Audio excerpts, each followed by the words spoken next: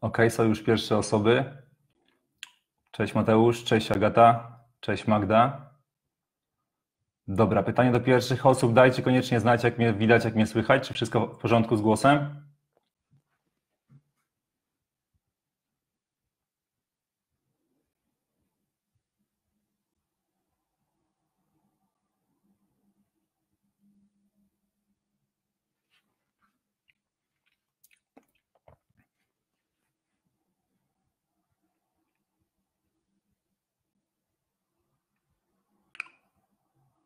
Magda pisze, że wszystko dobrze. Ok, dobra, fajnie. Ok, super. Hm. Jest Stasiu, Gabriel, Bors. Część osób kojarzę z Instagrama albo z Facebooka, także już marki osobiste powoli budujecie. Dobra, mam 11 osób, super, fajnie. Dobra, witam wszystkich na pierwszym live'ie na grupie Zdalni Przedsiębiorcy. Mam nadzieję, że nie na, nie na, ostatnim. Wszystko w zależności od tego, czy Wam takie spotkania będą się podobały, czy nie. Dzisiaj planuję przeznaczyć na, to, na tego live'a godzinę. Myślałem też o dwóch godzinach, ale też w zależności od tego, czy będą pytania, czy, um, czy będzie zainteresowanie, czy będzie zaangażowanie z Waszej strony. Jeśli tak, to spoko, mamy dwie godziny, zaczynamy po prostu. Wy zadajecie pytania związane z biznesem, z marketingiem, z, mm, ze sprzedażą, z obsługą klientów, z pozyskiwaniem klientów, wszystko, co Was interesuje na temat biznesu, a ja po prostu odpowiadam e, na żywo. Tutaj mam z prawej strony czat, jest też Adrian Prokop. Super, jest Was coraz więcej. Dobra, zaczynamy oficjalnie, po prostu zadawajcie pytania, lecimy.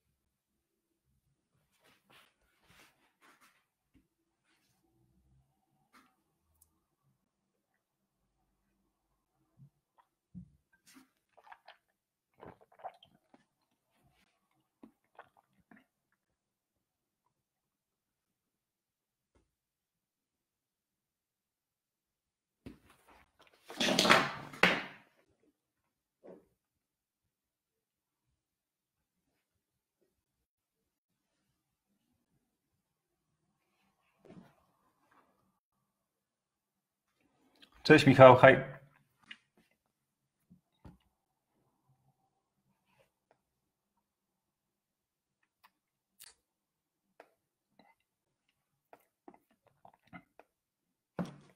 Dobra, mam tutaj pytanie odnośnie marketingu miejsca. Razem z koleżanką tworzymy właśnie domek na polu, łące, który będzie do wynajęcia na doby, ale planujemy to ogłosić dopiero po starcie, bo nie wiemy, czy będziemy miały skąd wziąć tyle kasy i zastanawiam się, w jaki sposób to ruszyć. Wiadomo, że pierwsze kroki są najtrudniejsze, później jakoś leci, ale nie wiem za bardzo, czy zaczynać już dokumentować, jak to powstaje i później opublikować, czy po, po otwarciu zacząć marketing, zacząć od razu na bieżąco relacjonować, co się dzieje i jak to wszystko wygląda. Czyli tutaj mamy pytanie odnośnie tego, jak zrobić marketing e, domku, który będzie wynajmowany na doby. Mm, ja bym zaczął od tego, do kogo jest ta oferta skierowana. Czyli od, pierwszy, od, od razu bym po prostu określił, kto jest waszym potencjalnym klientem, kto będzie ten domek wynajmował. Mm, jeśli zaczniecie właśnie od, e, od tego określenia, do kogo chcecie skierować tę ofertę, będzie wam o wiele łatwiej tych klientów znaleźć. Czyli jeśli chcecie zrobić taki domek i skierować tę ofertę na przykład do osób, mm, które, mm, no do, na przykład do zakochanych par, które właśnie szukają takiego domku, do którego mogliby sobie przyjechać, spędzić miło weekend e, i pojechać dalej. Także już jest jakiś awatar tego idealnego klienta, do którego chcemy trafić i Wam teraz o wiele łatwiej będzie tych klientów znaleźć, czyli czy teraz mm, dokumentować ten proces? Możecie zacząć już teraz i nawet na swoich profilach prywatnych. Oczywiście e, nie mam jakby, to, nie jest, to jest właśnie na, na pewno na plus, jeśli zaczniecie już dokumentować, niż w momencie, kiedy coś powstanie. E, pamiętam nawet, jak tworzyłem swój kurs ZSA, już e, z całą tą drogę, którą robiłem, tworzyłem ten kurs, dokumentowałem to na swoich relacjach na Insta Stories. Już dzięki temu wiele osób e, chciało kupić ten kurs, czyli już sprzedałem ten kurs, zanim jeszcze ten produkt powstał w, tak w całości. Także na pewno to jest taki duży plus, jeśli zaczniecie już teraz dokumentować to, ten cały proces, jak to powstaje, ale w pierwszej kolejności warto sobie zadać pytanie, do kogo będziecie kierować tą ofertę, dla kogo będzie ten domek, ponieważ jeśli kierujecie ten domek dla wszystkich, kto po prostu zechce przyjechać, to trochę to jest za szerokie i będzie Wam ciężko tych klientów takich konkretnych znaleźć. E, może kierujecie tę ofertę do osób, które mm, mieszkają w dużych miastach, do przedsiębiorców, którzy są na co dzień zapracowani, pracują w biurowcach i chcą właśnie przyjechać do takiego polnego miejsca, e, wynająć taki domek natury. I to już jest też jakiś awatar tego klienta, do którego można trafiać. I teraz możecie trafić na dwa sposoby. Albo organicznie, ponieważ, dobra, E, zacznijmy od tego, że większość, kiedy zaczyna cokolwiek sprzedawać w internecie, myśli, że jeśli będą tylko i wyłącznie wrzucać posty na Instagram czy na Facebooka, to już to załatwi sprawę. I to jest trochę takie, taka metoda e, defensywna, e, czyli wrzucamy OK i zobaczmy, co się stanie. Oczywiście lepiej wrzucać niż nie wrzucać nic, jeśli już chcemy wrzucać. Jeśli chcemy pozyskiwać tych klientów, to lepiej po prostu wykorzystać bezpośrednią interakcję z nimi. Czyli mamy metodę bezpośredniej interakcji na przykład na Instagramie. Możemy, już jak wiemy, do kogo trafiamy, do kogo jest ta oferta, to odzywamy się do tych osób na Instagramie, znajdujemy je poprzez na przykład hashtagi, czy poprzez właśnie e, znajomych znajomych na Facebooku e, i możemy też właśnie, czy na grupach na Facebooku znaleźć te osoby i do tych osób możemy też i czy nie, nie chcieliby z tej e, oferty skorzystać i na takiej zasadzie.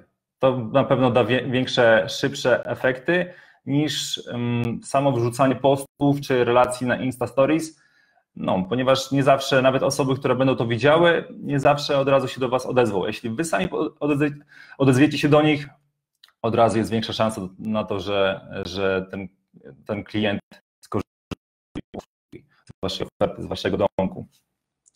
Dobra, tutaj przewijam, kurczę, nie, myślałem, że przewija się automatycznie, tutaj są pytania. Mm. Paweł Olejarczyk pyta, Cześć Heniu, jak wspomagać swoich klientów w tym trudnym czasie, żeby nie zrezygnowali z naszych usług? Dobra, e, czy możesz powiedzieć konkretnie Paweł, o jakie usługi chodzi?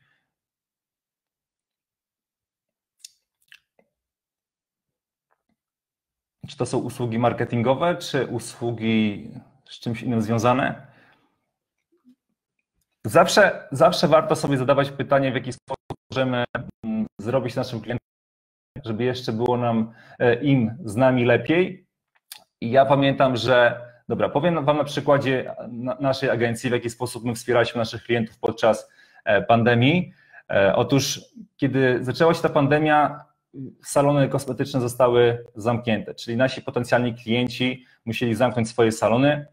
Oczywiście są osoby, które działają w branży kosmetycznej i sprzedają na przykład kursy, jakieś warsztaty, e, to te osoby jeszcze sobie radziły, ponieważ mogły to sprzedawać cyfrowo, ale mówię tutaj konkretnie o przykładzie osób, które mają salon, muszą go zamknąć, teraz nie wiadomo e, na jak długo, nie wiadomo e, kiedy będą mogli, mogli otworzyć ponownie, więc co mogliśmy zrobić?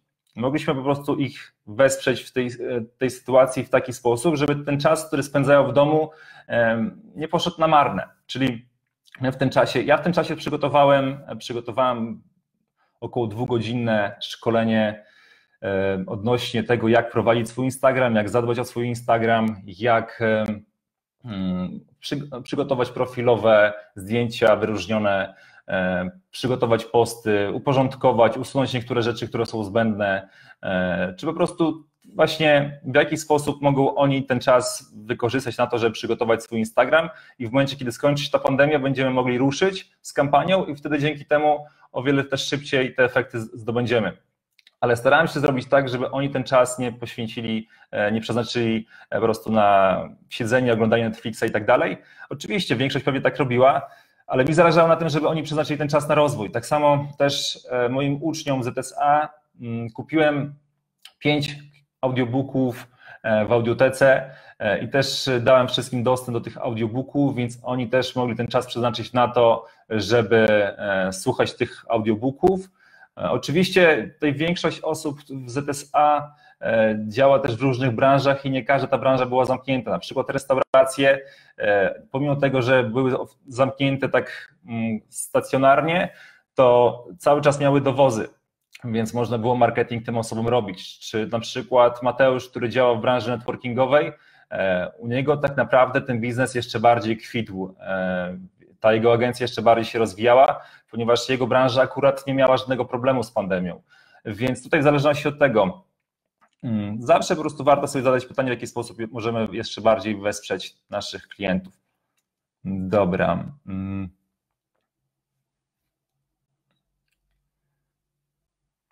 I dzięki temu, że wspieramy naszych klientów w tak trudnym okresie, to budujemy bardzo lojalne, takie głębokie relacje ze, swą, ze, ze swoimi klientami i oni, kiedy widzą, że my w takich sytuacjach nie zostawiamy ich na lodzie, wspieramy ich, pomagamy im, to oni później, kiedy już wszystko, wszystkie problemy odchodzą, typu właśnie teraz już salony są otwarte, to oni chcą z nami współpracować, ponieważ pamiętają w swojej głowie zawsze to, że on nie odwrócił się od nas, kiedy był problem, wspierał nas, więc e, dlaczego teraz ja mam zostawić jego? Chcę po prostu współpracować z nim, a nie z inną agencją, ponieważ wiem, że ta osoba mnie po prostu wspiera w trudnych sytuacjach i zawsze jest ze mną, więc to jest jakby takie kluczowe do budowania takich głębokich relacji. Nie wspieranie swoich klientów w momencie, kiedy wszystko jest dobrze, kiedy oni nam płacą, ale też w momencie, kiedy e, oni mają jakieś problemy. I wtedy, e, wtedy to, to właśnie świadczy o dobry, dobrej współpracy, o dobrej firmie.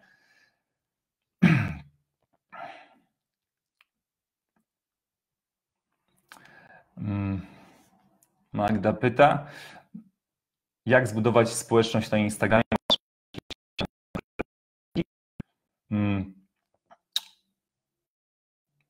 Mamy tak naprawdę dwie możliwości. Możliwość budowania tego organicznie, czyli poprzez wrzucanie postów, poprzez e, obserwowanie, lajkowanie innych użytkowników na Instagramie, wchodzenie z, nim, z nimi w interakcję. E, to jest pierwsza metoda. Druga metoda to są metody płatne, czyli tworzenie po prostu reklam sponsorowanych i trafianie do swoich potencjalnych odbiorców, których chcielibyśmy e, ściągnąć na nasz profil.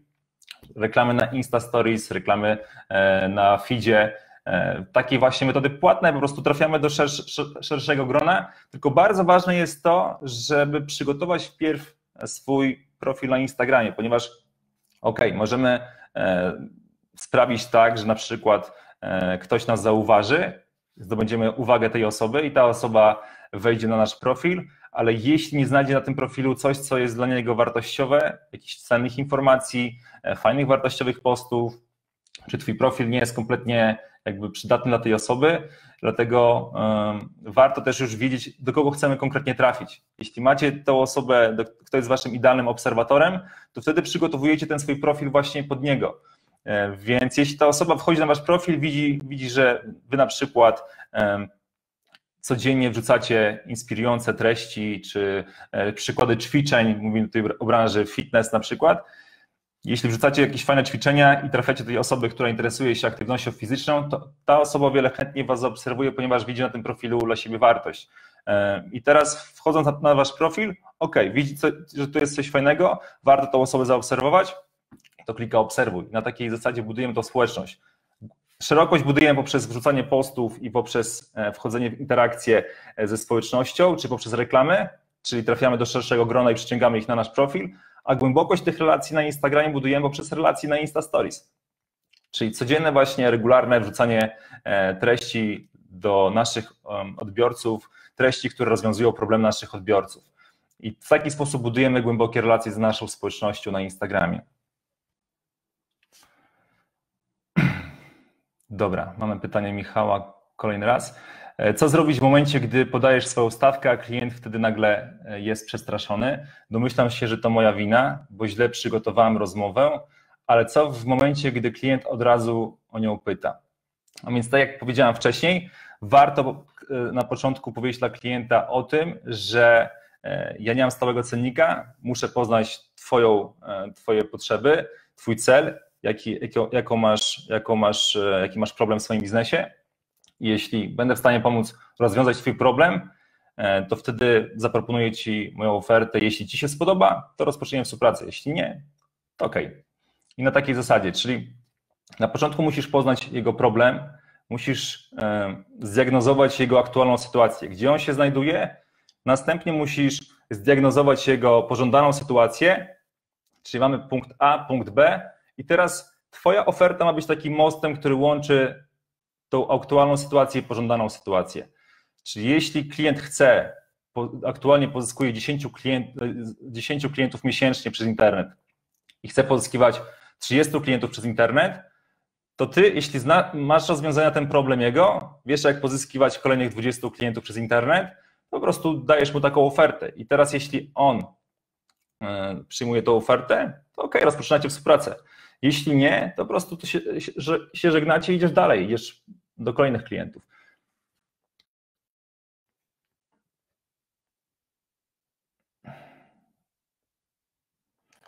Jeśli Michał chciałbyś jeszcze bardziej ten temat rozwinąć, to śmiało możesz też zadawać kolejne pytania. To pójdziemy jeszcze głębiej w ten temat.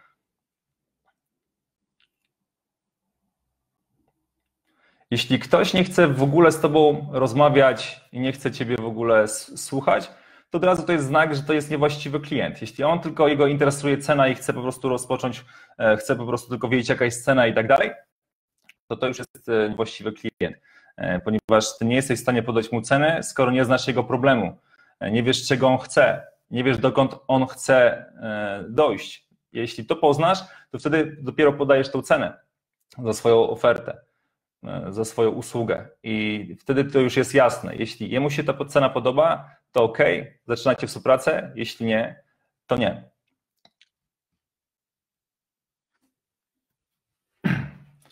Dobra, lecimy z kolejnymi pytaniami. Mm. Dobra, Sebastian pisze, że w tym momencie jest już dobrze. Bardzo się cieszę. Dobra, Gabriel Bors pisze, agencja social media. Usługa pozyskiwania klientów dla przedsiębiorców. Jakie mniej więcej są górne granice klientów, których można obsługiwać bez skalowania, bez delegowania zadań? Chodzi mi o takie zdrowe podejście, praca 8 godzin dziennie. Wiesz co? W zależności od tego, ilu masz też tych klientów i jak dużo usług dla tych klientów wykonujesz, im bardziej minimalistyczną prowadzisz agencję, tym o wiele bardziej jesteś w stanie wyskalować ją samodzielnie, robiąc wszystko samodzielnie. Czyli jeśli na przykład masz za swoje usługi e, usługę 2000 zł jednego klienta miesięcznie, mm, to jeśli na przykład wykonujesz mu tylko kampanię reklamową dla tego klienta, która dostarcza, rozwiązuje jego problem, e, to możesz dzięki takim dzięki takiej właśnie agencji, która wykonuje takie minimalistyczne, minimalistyczne, minimalistyczne usługi, myślę, że jesteś śmiało w stanie obsługiwać 10-15 klientów samodzielnie. I wtedy masz 20-30 tysięcy miesięcznie. Mateusz Witkowski pyta: Budowanie zdalnego biznesu po godzinach pracy na etacie, a samodyscyplina. Jak walczyć z tym, żeby po 80 godzinach pracy codziennie pracować nad swoim? Hmm, dobre pytanie. I ja miałem, ten, miałem właśnie to samo, e, ponieważ pracowałem od godziny 8 do godziny 16 na etacie. Później wracałem z etatu, szedłem na trening. Później po treningu jadłem coś na szybko i pracowałem gdzieś tam nad swoimi rzeczami, projektami internetowymi. E, pracowałem do godziny 23, 24. Nieraz wstawałem znowu o godzinie 6.37. E, Później szedłem na, na, do pracy na etat, wracałem. To jest wszystko samodyscyplina i tak naprawdę przy tym wszystkim mnie mm, ratowało takie moje, moja wizja, co chcę osiągnąć. Chciałem po prostu wyrwać się z tego etatu, chciałem mm, rzucić ten etat, chciałem budować swój biznes, chciałem pomagać e, ludziom rozwiązywać ich problemy i to był mój cel.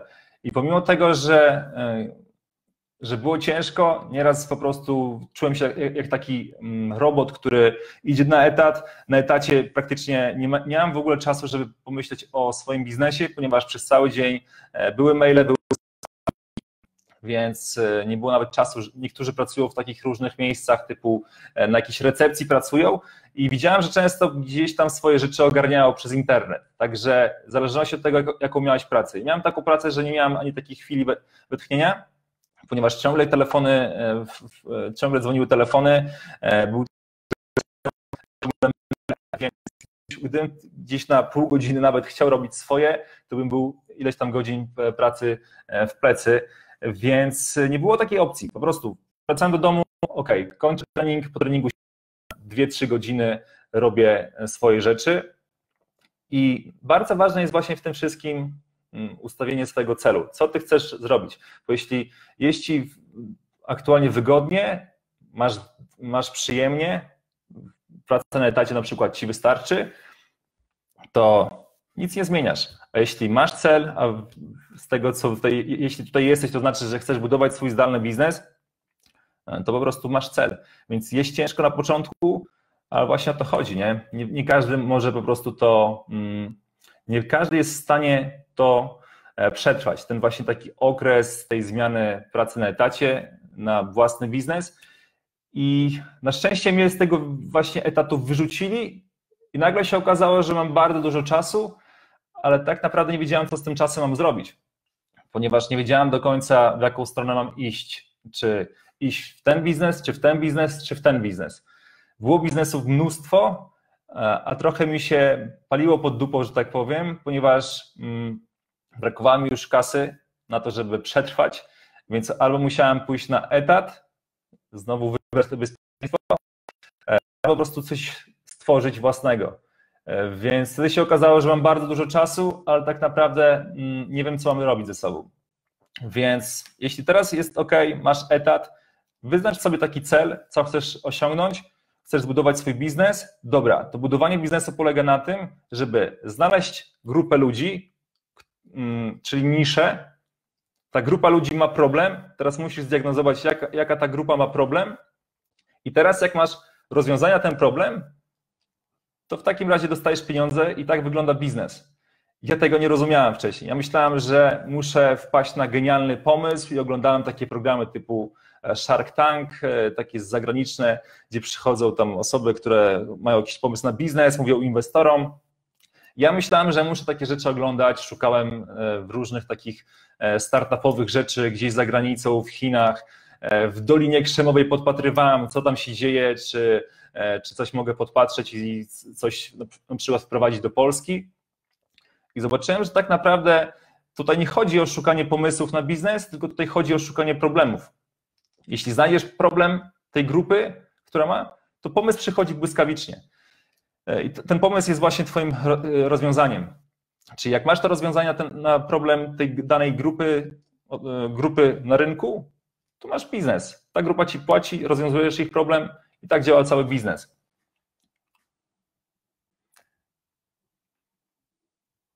Adrian Proko pisze, Heniu, od 18 maja na przykład salony kosmetyczne lub fryzjerzy wrócili do pracy. Jak ich przekonać do skorzystania z usług agencji, skoro prawdopodobnie mają po otwarciu ręce pełne roboty? E, zobacz, Adrian, to jest tak naprawdę, mm, wziąłeś sobie taką, taką myśl, że tak jest, ale tak naprawdę mm, nie zapytałeś swojej grupy docelowej, czyli jeśli chcesz trafić do salonów kosmetycznych czy do fryzjerów, nie zapytałeś ich, I właśnie my często sobie e, stawiamy jakąś tezę, że coś tak, że jest taki, że pewnie tak jest, że pewnie ta grupa odbiorców ma taki pewnie problem lub takiego nie ma problemu, ponieważ dopiero otworzyli, więc mają pewnie ręce, ręce pełne roboty. I my w to zaczynamy wierzyć. to chodzi, żeby zaczynać w to wierzyć, tylko faktycznie po prostu odezwij się do tych osób, zapytaj ich, czy mają ręce pełne roboty. Jeśli nie, to zaproponuj im, czy jesteś w stanie im pomóc, na przykład przyciągnąć jeszcze więcej klientów do, do ich miejsca pracy. Jeśli mają, problem, jeśli mają ręce pełne roboty, akurat dany salon ma ręce pełne roboty, to okej, okay, w porządku, idź do następnego salonu i zapytaj ich, czy mają ręce pełne roboty. Jeśli nie mają, a ile byście chcieli mieć klientów miesięcznie, żeby mieć ręce pełne roboty? 10. Jesteś w stanie pozyskać ich 10, im 10 klientów? Tak, dobra. No to w takim razie pomagasz im rozwiązać problem. Nie stawiaj sam sobie żadnych takich tez, że ktoś już coś tam ogarnia, tylko idź i zapytaj ich o to. Dobra, Michał pisze, co zrobić, jeśli osoby, z którymi współpracuję za darmo, chcą uzyskać pierwsze rekomendacje? Chcę uzyskać pierwsze rekomendacje? Mm, nie wykazują większego zainteresowania. Wiadomo, jakby płacili, to pewnie zaangażowanie byłoby większe. Trzeba przez to przebrnąć czy szukać nowych osób. Wiesz co, ja zawsze swoim uczniom mówię o tym, żeby nie robili niczego za darmo. E, nie robili za darmo żadnej kampanii dla swoich klientów. Ponieważ ludzie, kiedy otrzymują coś za darmo, przez 30 dni na przykład, współpracujesz z danym klientem i robisz to za darmo dla niego, to on tego nigdy nie docenia. I to są niewłaściwe osoby, z którymi współpracujesz. E, ponieważ jeśli zaproponujesz ludziom darmową współpracę, to tak naprawdę nagle wszyscy zaczynają do ciebie lecieć i chcą zacząć tą właściwą e, darmową współpracę, ale to nie są do końca właściwi klienci, których ty chcesz mieć w swojej agencji. Lepiej zawsze wziąć, jeśli jest, jeszcze nie jesteś pewny swojego działania, ponieważ dopiero zaczynasz, lepiej wziąć mm, mniej pieniędzy, na przykład jeśli chcesz docelowo brać 1000 zł, to lepiej wziąć 500 zł za swoją usługę, ale już w momencie, kiedy ten twój klient wyciągnie pieniądze i zapłaci ci za tą usługę, to on o wiele bardziej jest mentalnie przygotowany na to, e, o wiele lepszą ma mentalność, o wiele mm, bardziej szanuje twój czas e, i ty też pod koniec współpracy, kiedy on ci zapłacił za to, to i zrobiłeś mu dobrą robotę, to czujesz się bardziej pewny siebie niż w momencie, kiedy przez cały miesiąc robiłeś za darmo i nawet on teraz pod koniec miesiąca nagra ci tą rekomendację, to ty teraz masz w głowie coś takiego, że kurczę, ale on mi nagrał tą rekomendację, ponieważ zrobiłem dobrą robotę, czy nagrał, ponieważ zrobiłem to za darmo. I twoja pewność siebie wbrew pozorom właśnie nie wzrasta, tylko cały czas jest na tym samym poziomie. Więc moim zdaniem zawsze rekomenduję to swoim uczniom, jeśli dopiero zaczynasz, to weź pieniądze. Weź jakiekolwiek pieniądze, ale za każdym razem klient, który płaci pieniądze, to zawsze będzie to lepszy klient niż osoba, która, nie, która nic ci nie zapłaciła, ponieważ zawsze te osoby, które nic nie płacą, chcą wszystko za darmo, to zawsze to są osoby, które są najczęściej najbardziej problematyczne, będziesz miał z nimi najwięcej problemów. I w momencie, kiedy po tym miesiącu powiesz im, dobra, teraz już kolejny miesiąc jest płatny, pomimo tego, że zrobiłeś świetną robotę, to im już będzie ciężko zapłacić te pieniądze tobie, ponieważ to jest właśnie e, te, te, zjawisko e, niechęć do strat, które Daniel Kaleman, z tego co pamiętam, e, pułapki myślenia, to, to zjawisko odkrył, że ludzie po prostu boją się straty, bardziej boją się tego, że coś stracą, niż tego, że coś zyskają. Więc ja zawsze mówię o tym, że dobra, weź te 100 zł za tą usługę, ale to jest zawsze lepsze niż 0 złotych. Mateusz Harnaś pyta, jakie konkretnie usługi może, można świadczyć jako agencja? Jakie usługi to podstawa przy prowadzeniu agencji reklamowej potrzebuje twardych konkretów? Dziękuję. Mm. Wiesz co, usług jest mnóstwo na rynku. Obsługa Instagrama, tworzenie stron internetowych, mm, obsługa Facebooka, tworzenie chatbotów. Teraz weszły promocje, na przykład obsługa TikToka. E, tych usług jest mnóstwo. Tylko pytanie, która usługa najlepiej rozwiąże problem Twojego klienta. I na tym powinniś, powinniśmy się skupić, ponieważ nie sztuką jest robienie wszystkiego dla swoich klientów, na przykład tworzyć content dla niego na Instagramie, tworzyć content na Facebooku, stworzyć stronę, czy obsługiwać Facebooka. Tak robią wszyscy. I nie chodzi o to, żeby robić wszystko, tylko skupić się na tym, co tak naprawdę rozwiąże najlepiej problem Twojego klienta. Więc jeśli ja wcześniej w swojej agencji miałem tworzenie kontentu, obsługa Instagrama, e, kampanie płatne na Facebooku i Instagramie, zobaczyłem, że najlepsze efekty naszych klientów, zasada Pareto, 80-20, 80% tych efektów dają reklamy płatne na Facebooku, to w takim razie wykluczamy te 20%, czyli już przestajemy tworzyć kontent dla naszych klientów, przestajemy e, obsługiwać Instagrama, pozyskiwać followersów i tak dalej, tylko skupiamy się na kampaniach płatnych na Facebooku.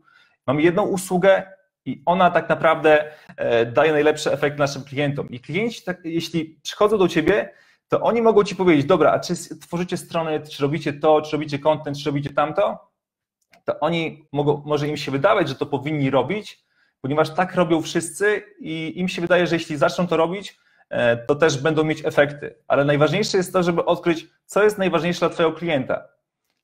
Na czym Ci najbardziej zależy? Na pozyskiwaniu klientów? Ok, dobra, to w takim razie ja tych klientów Tobie pozyskam. Jego interesuje efekt końcowy, a nie to, czy, czy ja użyję usługi takiej, takiej, takiej czy takiej.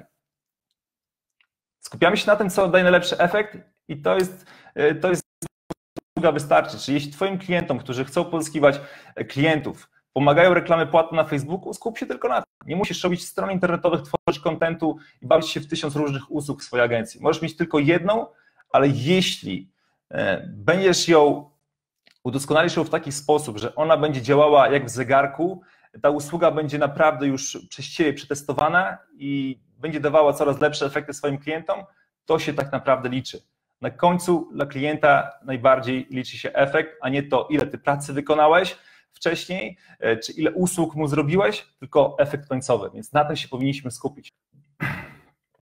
Gabriel Bors pisze, Mam jeszcze dwa, e, drugie pytanko. Aktualnie chciałbym pracować nawet 12-16 godzin dziennie. Robię audyty, tworzę bazę danych i tym podobne, ale zajmuje mi to maksymalnie 3-4 godziny, ponieważ Facebook daje mi ograniczenia blokowania nowych zaproszeń i wysyłania wiadomości. Powiedz mi, co mógłbym robić więcej, aby zapewnić mój wolny czas, dzięki czemu mieć lepsze wyniki. Czy jeśli Gabriel teraz Tobie zależy najbardziej na pozyskiwaniu klientów, to skup się na pozyskiwaniu klientów i pamiętaj o tym, że też masz taką platformę jak Instagram, więc jeśli Facebook blokuje Twoje e, działania na, na Facebook blokuje Twoje działania, to po prostu też możesz wykorzystać do tego Instagram. I tak samo jak działasz na Facebooku, tak samo możesz działać na Instagramie i ten czas podzielić sobie. Jeśli blokuje cię z powodu tego, że wysyłasz w jednej chwili 20 wiadomości naraz do klientów, to podziel sobie to. Oczywiście możesz zrobić sobie więcej tych audytów, zapisać je sobie, przygotować je sobie, ale później podzielić sobie możesz to na przykład, że wysyłasz e, z rana 10, później po południu 10, później wieczorem 10 i wtedy nie będzie problemu. Lub po prostu rozłożysz to też na Instagramie. Tutaj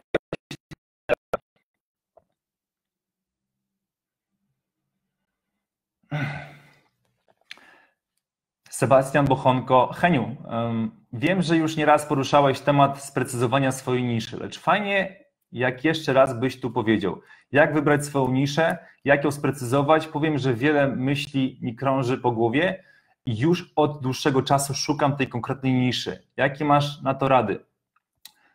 A więc tak, znajdowanie niszy to powinno być właśnie bardziej taka racjonalna decyzja niż logiczna. Powinniśmy się skupić na znalezieniu niszy, która nas tak naprawdę najbardziej interesuje, którą rozumiemy, ponieważ jeśli na, na przykład na początku skupimy się logicznie, skupimy się na jednej niszy, e, która teraz jest może opłacalna, ponieważ jest nagle jakiś boom na nią, e, to my nie przetrwamy w tej niszy długo, ponieważ nie będziemy jej lubić i nie będzie nam dawała ona jakiejś frajdy, przyjemności. Ale jeśli skupisz się na niszy, która Ciebie interesuje, która Ciebie jara, w której może miałeś przez większość swojego życia doświadczenie, to wtedy o wiele łatwiej Ci jest tą niszę zrozumieć, o wiele łatwiej jest e, w tej niszy być dobrym, ponieważ ciągle będziesz się interesował tematami związanymi z tą niszą, ciągle będziesz na przykład czytał książki związane z tą niszą, z ich problemami, o wiele lepiej będziesz rozumiał swoich klientów, więc bardziej skup się na tym, co Ci się podoba, co Ci interesuje i możesz takie rzeczy znaleźć e, chociażby przez to, co najczęściej oglądasz na YouTubie jakie filmy czytać w internecie, czy jakie artykuły czytasz, mm, czy jakie, mm, jakie książki czytasz, jaka, jaka tematyka konkretnie. I już daje dużo informacji, gdzie najwięcej idzie, mm, gdzie najczęściej kierujesz swoją uwagę. I tam, gdzie najczęściej kierujesz swoją uwagę, to praktycznie ta, ta rzecz najbardziej Cię interesuje. I po prostu warto zacząć już w tym kręgu szukać właśnie tej swojej niszy. Czyli coś Cię interesuje, coś Ciebie kręci, jara, no to już jest jakiś znak, że to może być Twoja nisza. Nie? I wtedy już się, jak już ją, okej, okay, dobra, czepiam się tej niszy i nie, nie, nie opuszczam jej, dopóki nie zrozumiem jeszcze lepiej tej niszy, nie zrozumiem jeszcze lepiej jej problemów i zaczynasz uczyć się tego, więc automatycznie zaczynasz się zagłębiać w swoją niszę. I na takiej zasadzie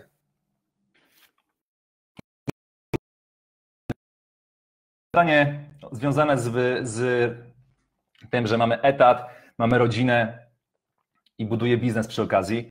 E, więc tutaj wrzucił Mateusz e, wideo z naszego spotkania, e, które, które jest mega motywujące, inspirujące. Jeśli jesteś osobą, która pracuje jeszcze na etacie, ma może jeszcze rodzinę, ma dzieci i chcesz budować swój biznes, to myślę, że to wideo też będzie dla Ciebie fajną taką inspiracją do tego, żebyś sobie je obejrzał. Mateusz wrzucił je w komentarzu.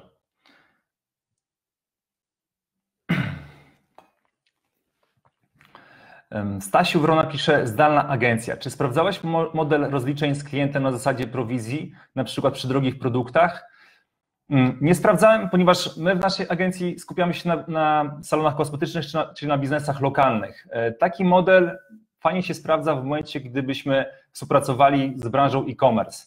E, I wtedy możemy mieć taką stałą kwotę obsługi kampanii i też brać na przykład procent, 10%, 20% od sprzedaży produktów naszego klienta. Więc e, kilka osób mi o tym mówiło, które już działają na przykład w w e-commerce'ach i często właśnie na takiej, często właśnie mają taką strategię, mm, którą dogadują właśnie z klientem i myślę, że to jest w porządku, ponieważ wtedy klient widzi, że tobie też zależy na sprzedaży, a nie tylko po prostu na obsłudze kampanii. Więc to, to, to Ciebie też bardziej motywuje, żeby cały czas doglądać te kampanie, e, cały czas sprawić, żeby one sprzedawały coraz więcej, e, więc myślę, że to jest w porządku podejście.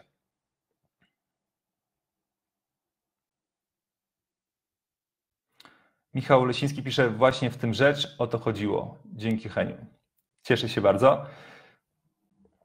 Aleksandra Bendek pisze, e, oglądałam wczoraj Twój darmowy webinar, mówiłeś tam, aby nie tworzyć pakietów. Jestem w trakcie tworzenia swojej agencji, w głowie jest już tworzenie stworzona i na kartkach też.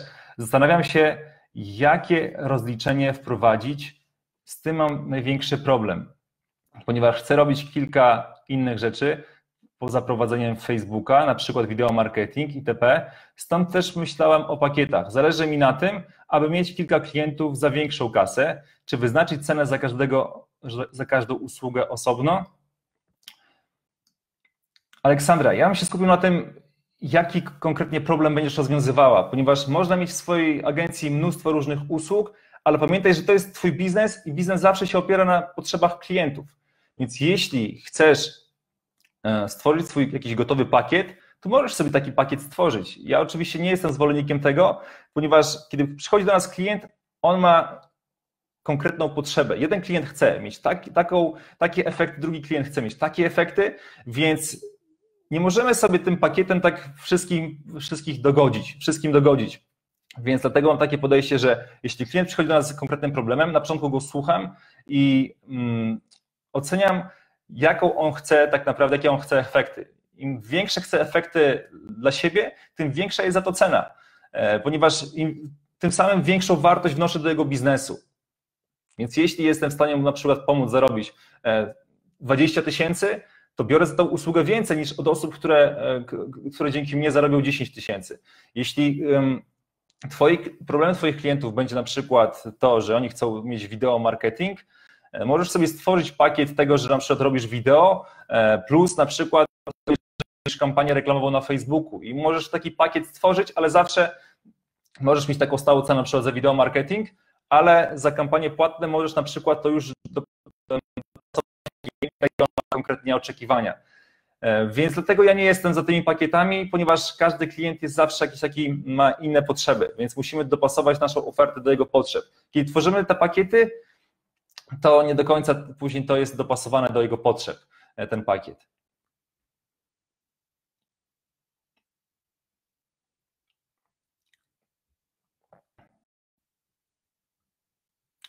Mateusz Harnaś pisze, widziałem kiedyś fajne stwierdzenie, jak traktujesz coś, jak zbieranie śmieci, to i takie masz efekty. Ułożona głowa, cel z konkretnym deadline to podstawa i po etacie działać ile siły, no chyba, że ci to odpowiada, to możesz tam zostać, co wątpię.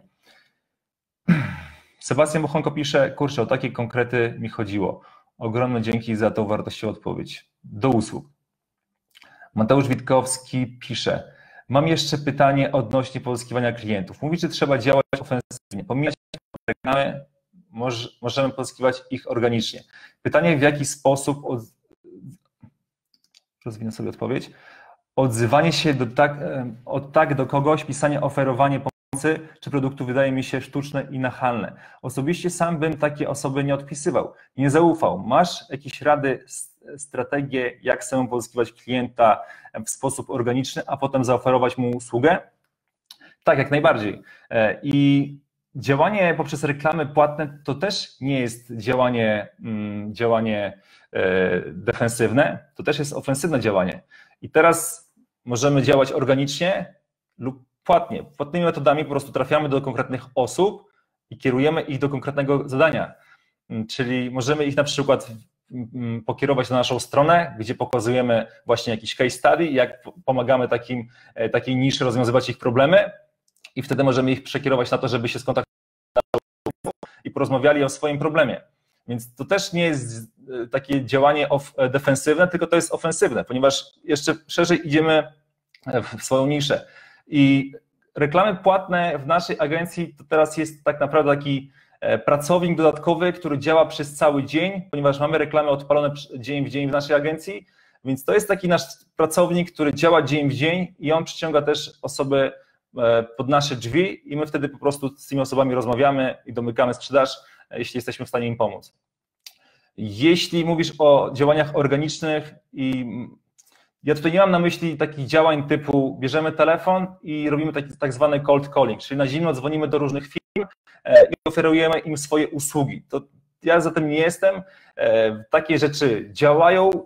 Kilka osób mówiło, że działa u nich w ich agencjach ja osobiście nie, nie jestem za tym podejściem, ponieważ to jest mniej skuteczne. E, chodzi o to, że po prostu jeśli znajdziesz kogoś na Facebooku czy na Instagramie, dodasz tę osobę do znajomych, i masz na przykład w swoim biogramie na Facebooku informacje czy na Instagramie, pomagam agentom nieruchomości pozyskiwać więcej klientów. I teraz ta osoba, która akceptuje Twoje zaproszenie do znajomych na Facebooku chociażby, on widzi na Twoim profilu, o, pomaga agentom nieruchomości pozyskiwać więcej klientów. No dobra, to już mniej więcej zajmujesz, kim jesteś i wtedy ta osoba akceptuje Twoje zaproszenie i teraz możesz na przykład tej osobie, do tej osoby wysłać wiadomość, porozmawiać z nią, że właśnie pomagasz takim agentom nieruchomości pozyskiwać więcej klientów. Jeśli jest zainteresowane e, współpracą, to teraz możesz właśnie, e, możemy się umówić na rozmowę telefoniczną i wtedy podczas tej rozmowy telefonicznej rozmawiacie. Jeśli jesteś w stanie pomóc mu rozwiązać jego problem, to wtedy rozpoczynacie współpracę. To nie jest takie zimne dzwonienie, tylko po prostu to jest ocieplenie tego kontaktu. I tak samo na Instagramie jeśli e, zaobserwujesz swojego potencjalnego klienta na Instagramie, on e, zaobserwuje Ciebie również, to już jest ten ruch cieplejszy. To nie jest zimne połączenie, ponieważ ta osoba, która mm, zazwyczaj akceptuje Twoje zaproszenie, to ona patrzy na Twój profil, patrzy kim jesteś, co robisz. E, jeśli widzi, że jesteś osobą, która pomaga akurat w takiej branży, to wiele chętnie akceptuje to i sama nawet nieraz do ciebie się odzywa, o widziałem, że pomagasz na przykład branży nieruchomości pozyskiwać więcej klientów, to w takim razie powiedz mi, czy jesteś w stanie pomóc. I na takiej zasadzie to działa. Aleksandra Bendek pisze, no dobra, z tą niszą mnie tylko zastanawia, jak to wygląda z punktu widzenia konkurencji. To znaczy, ja prowadzę marketing dla firmy fotowoltanicznej i mogłaby być to moja nisza, ale czuję, że mogłaby być to nie w porządku, mogłoby być to nie w porządku w stosunku do tej firmy, bo to jest w zasadzie odbieranie sobie klientów. Jak to pogodzić? Wiesz co, nie rozumiem do końca pytania. Konkurencji. To znaczy, ja prowadzę marketing dla firmy fotowoltaicznej i mogłaby być to moja nisza, ale czuję, że mogłaby być to, to nie. W, czuję, że mogłoby być to nie w porządku w stosunku do tej firmy, bo to jest w zasadzie odbieranie sobie klientów. Kompletnie nie rozumiem tego pytania. Wybacz, Aleksandra, ale musisz po prostu zadać te pytania jeszcze raz i sprecyzować je bardziej, dlaczego traktujesz tego odbieranie komuś klientów, ponieważ tego punktu nie rozumiem. Mateusz pisze, właśnie sęk w tym, że lubię swoją pracę, daje mi radość, jest w jakimś stopniu spełnieniem mojego marzenia dzieciństwa, ale czuję się w niej, że się w niej wypalam, że nie ogranicza, nie jest to coś, co chciałbym robić docelowo, a że jest względnie dobrze, to tkwi się w tej sferze komfortu. Zgadzam się z tym, co mówisz, wszystko jest w głowie. Wiesz co, tak, dokładnie tak jest. Po prostu, kiedy jest tam dobrze, to po prostu jest tam dobrze i za bardzo nie ciśniemy, nie staramy się tego zmienić, ponieważ już e, polubiliśmy ten nasz taki, ten nasze takie właśnie otoczenie, tę naszą pracę, tę naszą rutynę. Szczerze mówiąc, też mi było bardzo wygodnie na etacie, kiedy wcześniej, jeszcze przed tym etatem pracowałem na budowie e, i pracowałem przez 12-14 godzin w ciągu dnia E, cały dzień byłem, e, pracowałem fizycznie, więc byłem cały czas gdzieś taki wymęczony i najlepszym momentem podczas dnia było, kiedy już wracałem do domu, kładłem się na kanapę, otwierałem piwko i to był taki fajny moment w ciągu dnia. Później jak już po tej pracy na budowie mm, poszedłem na etat, gdzie miałem bardzo wygodnie, pracowałem w równych godzinach, od godziny 8 do godziny 16 i wtedy miałem właśnie porządek, czyściutko wokół siebie, mogłem się normalnie ubrać, nie musiałem ubierać swoich takich budowlanych ciuchów. Miałem właśnie pracę taką, którą chciałem. W sumie wtedy myślałem, że tak mi się chce. Miałem pracę za, przy biurku, na laptopie, e, rozmowy z klientami, mailowanie, czyli taka elegancka praca, typowo etatowa, kulturalna, e, własny kubek kawy i tak dalej. Wszystko było fajnie. I na początku byłem mega szczęśliwy, że los do mnie się tak uśmiechnął, że z pracy, że z budowy przeszedłem na pracę w biurze, teraz mam tak fajnie, komfortowo, ale w pewnym momencie też zacząłem się dusić tam w tym, na tym etacie i musiałem właśnie sobie ustalić konkretny cel. Dobra, postawiłem sobie cel, że chcę rzucić etat do września. I codziennie miałem tą kartkę, na, jak się budziłem, na swojej ścianie przyklejoną, że rzucę etat do września, i w sumie nie wiedziałem kompletnie, jakie to zrobię, ponieważ mm, nie miałem czegoś, co mogłem robić z boku, nie miałem konkretnego zbudowanego biznesu z boku, e, więc e, kompletnie nie wiedziałem, jak się za to zabrać, ale miałem cel na kartce napisany, że do września rzucam etat. No i los tak, się, tak chciał, że mnie zwolnili z, etatu w lip, z tego etatu w lipcu.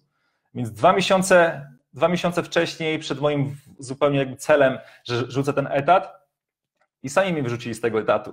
Więc uważaj, o czym marzysz, ponieważ marzenia się spełniają, ale dzięki temu, że mnie wrzucili z tego etatu, dla mnie wtedy w tamtym momencie wydawało się, że to jest najgorsze, co mnie w życiu spotkało, ponieważ było wygodnie, było fajnie, ale dzisiaj, kiedy patrzę wstecz, to patrzę, że to jest najlepsze, co mnie w życiu mogło spotkać, najlepsza w ogóle sytuacja życiowa największa taka, można powiedzieć, porażka, że mnie wrzucili.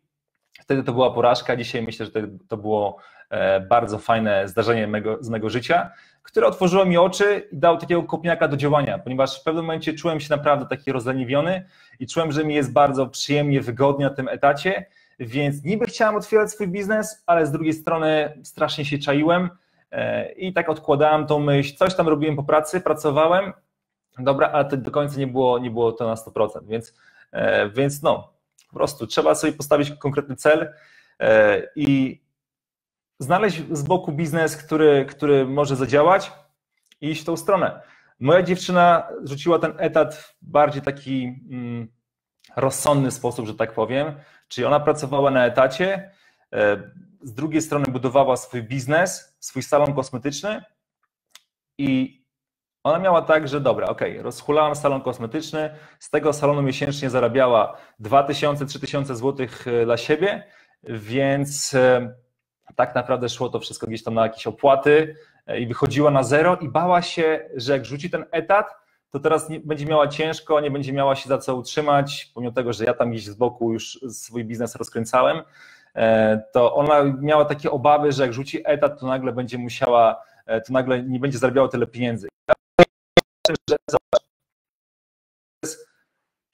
8 godzin pracujesz na etacie i 80% swojego czasu podczas dnia przeznaczasz na, um, przeznaczasz na pracę,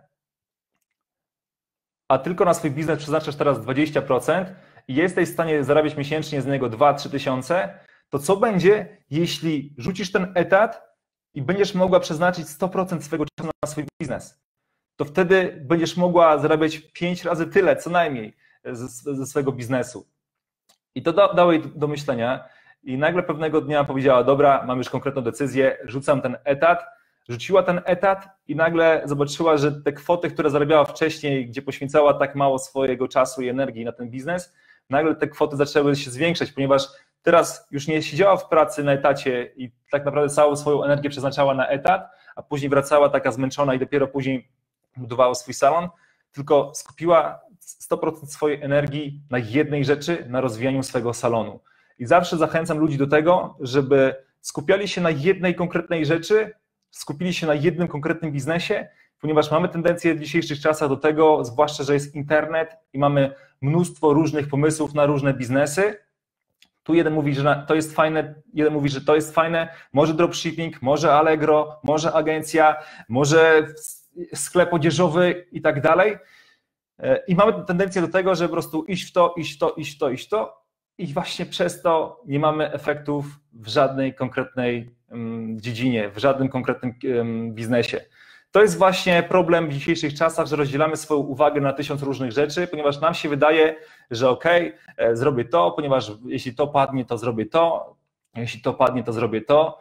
E, I na takiej zasadzie podchodzimy do naszego biznesu, ale takie podejście, z takim podejściem nie zbudujemy konkretnego biznesu, ponieważ zawsze będziemy przeznaczyć na to po kilka, gdzieś, e, powiedzmy po 20% energii tutaj na sklep odzieżowy, po 20% energii na budowanie swojej marki, tutaj na budowanie agencji i w konsekwencji w żadnym miejscu nie mamy konkretnych efektów. Więc jeśli zaczynasz, skup się na jednej rzeczy, skup się na jednym biznesie. Jeśli masz etat i biznes, ten etat pozwala ci utrzymać się na powierzchni, że tak powiem, to ok, masz teraz 50% energii, czy tam nawet więcej na tym etacie, po godzinach pracujesz na swoim biznesie, no to nie dziw się, że nie masz tak dużych efektów w swoim biznesie, ponieważ większość czasu twojego pochłania etat. Więc w momencie, kiedy już trochę uporządkujesz swój biznes, tak żebyś mógł już zrobić ten krok do przodu, zostawić ten etat w cholerę, to wtedy zostawiasz ten etat w cholerę i skupiasz się w 100% na swoim biznesie i ciśniesz go do momentu, aż nie będziesz zadowolony z tych efektów i nie przerzucasz, przerzucasz swoje, swoje pieniędzy, swoich, swoich inwestycji, e, swojego czasu na inne biznesy, ponieważ to nie ma sensu.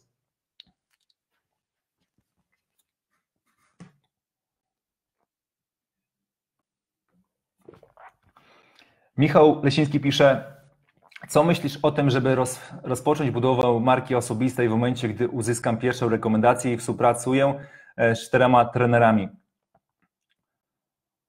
Zauważyłem, że coraz więcej osób odwiedza mój profil. Jestem dość aktywny pod postami innych osób i mam wrażenie, że jakbym rozpoczął budować markę już teraz, to mogę na tym jedynie zyskać. Oczywiście możesz budować swoją markę, ale nie skupiaj się tylko na, na budowaniu swojej marki, e, ponieważ jeśli budujesz swój biznes, to powinien się skupić na budowaniu głównie swojego biznesu. I nam się często wydaje, że jeśli będziemy e, budować markę osobistą, to rozwiniemy swój biznes bardzo szybko. Jeśli paliwem Twojego biznesu są klienci, to skup 80% swojej energii na pozyskiwaniu klientów, na tym, co daje najlepsze efekty, a 20% w międzyczasie możesz sobie robić Instagrama, czy wrzucać jakieś posty na swój profil na Instagramie, e, czy robić relacje i tak dalej. I tak sobie po prostu iść w tym kierunku. I teraz zobacz, e, jeśli nagle zbudujesz swój biznes na, e, już na taką skalę, że będziesz mógł duże rzeczy w swojej agencji oddelegować dla osoby ze swojego teamu. Na przykład, jeśli tworzysz kontent swojej agencji, to teraz możesz na przykład znaleźć osobę, która będzie tworzyła kontent swojej agencji możesz je to oddelegować dzięki temu zyskasz więcej czasu dla siebie, to teraz ten czas możesz przeznaczyć na to, żeby skupić się jeszcze bardziej na tym budowaniu swojej marki osobistej i jeśli to jest dla Ciebie teraz tak też to robić. Wtedy masz o wiele więcej czasu, żeby tą markę osobistą budować, ale w momencie, kiedy dopiero zaczynasz i jeszcze nie masz tylu klientów, ile, ilu byś chciał, to skup się na pozyskiwaniu klientów. Jeśli będziesz wrzucał posty na Instagram, ja to robiłem i to przyciąga tak naprawdę do, nasze, do naszego biznesu osoby nie zawsze właściwe, które my, z którymi my, my chcemy współpracować. Dlatego dzisiaj w naszej agencji robię po prostu selekcję. Ja wybieram, z kim ja chcę współpracować w naszej agencji, ponieważ to ma też znaczenie na efekty, które uzyskamy dla tego klienta. Czyli jeśli ktoś, to są różne połączenia i często tych połączeń nie widzimy, ale to jest jeden taki wielki system. Czyli jeśli na przykład klient, z którym zaczęliśmy współpracę, wykonuje złe zabiegi, szpeci złe usługi w swoim salonie, to nawet jeśli mu pomożemy i rozpoczniemy z nim mm, współpracę, zrobimy świetną robotę, świetny marketing, to to nie da efektów, ponieważ ludzie widzą, że to jest, to jest zrobione słabo. Dlatego jeśli ktoś robi dobrze, ty robisz dobrze, to wtedy efekt jest znacznie lepszy. I to ma wtedy sens. A często, kiedy ja budowałem swoją markę, to do mnie się odzywały osoby, z którymi ja nie do końca chciałem współpracować, więc mówiłem im często nie. E, I dlatego warto po prostu samemu sobie szukać tych klientów, czyli jeśli na przykład szukasz kogoś z konkretnej niszy, możesz go znaleźć na grupach na Facebooku, możesz wejść na Instagram, po hashtagach ich znaleźć. Ok, widzisz, że ktoś robi świetną robotę i potrzebuje Twojej razem byście mogli e, stworzyć naprawdę zgrany duet, ty marketingowo, on usługowo i wtedy to, to, to połączenie ma sens i daje świetny efekt dla Twojego klienta i wtedy wszyscy są zadowoleni i Ty jesteś zadowolony, ponieważ dałeś świetny efekt dla swojego klienta i Twój klient jest zadowolony, ale wszystko się zgadza. Dlatego nie, ja często mówię o tym, żeby się nie fokusować na budowaniu marki osobistej, ponieważ jeśli chcesz budować swoją rozpoznawalność, e, chcesz przyszłości na tej marce osobistej, mm, nie wiem, być jakimś fejmem po prostu i tak dalej, to okej, okay, dobra. Czy to jest dla Ciebie najważniejsze, to skup się na tym, ale jeśli chcesz budować swój biznes i pozyskiwać klientów, to skup się na pozyskiwaniu klientów, e, ponieważ działania takie właśnie takie organiczne, typu właśnie bezpośrednia interakcja z klientem, z którym chcesz zacząć współpracę, bezpośredni kontakt z tą osobą sprawi, że ten klient o wiele szybciej zacznie z Tobą współpracę niż budowanie tej swojej marki, wrzucanie postów, wrzucanie postów i tak możesz przez miesiącami rzucać posty na Instagram i na Facebooka i się okaże, że nie ma żadnych klientów. I Ty y, jesteś sfrustrowany, tracisz energię całą, widzisz, że to nie działa, więc przestajesz to robić, szukasz innego biznesu.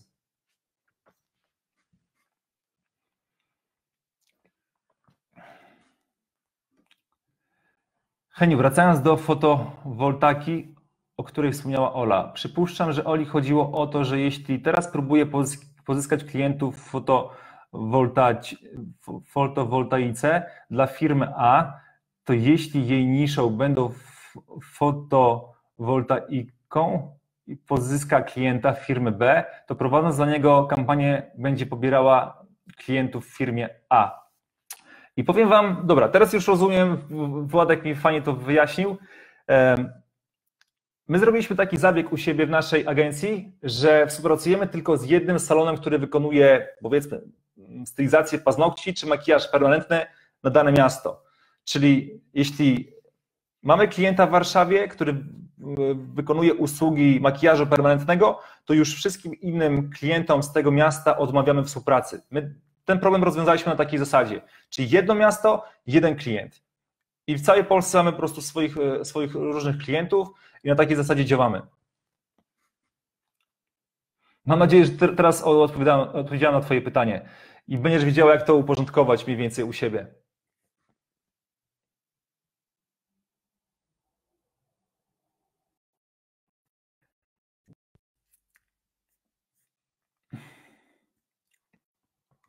To pisze, z perspektywy czasu wychodzi na, na to, że wrzucili cię z, z, z, że wyrzucili cię z etatu, wyszło ci na dobre, mogłeś później w 100% skupić się na swoim biznesie. Kiedyś wspomniałeś, że miałeś do czynienia z dropshippingiem. Czy mógłbyś podzielić się opinią tym modelem biznesu?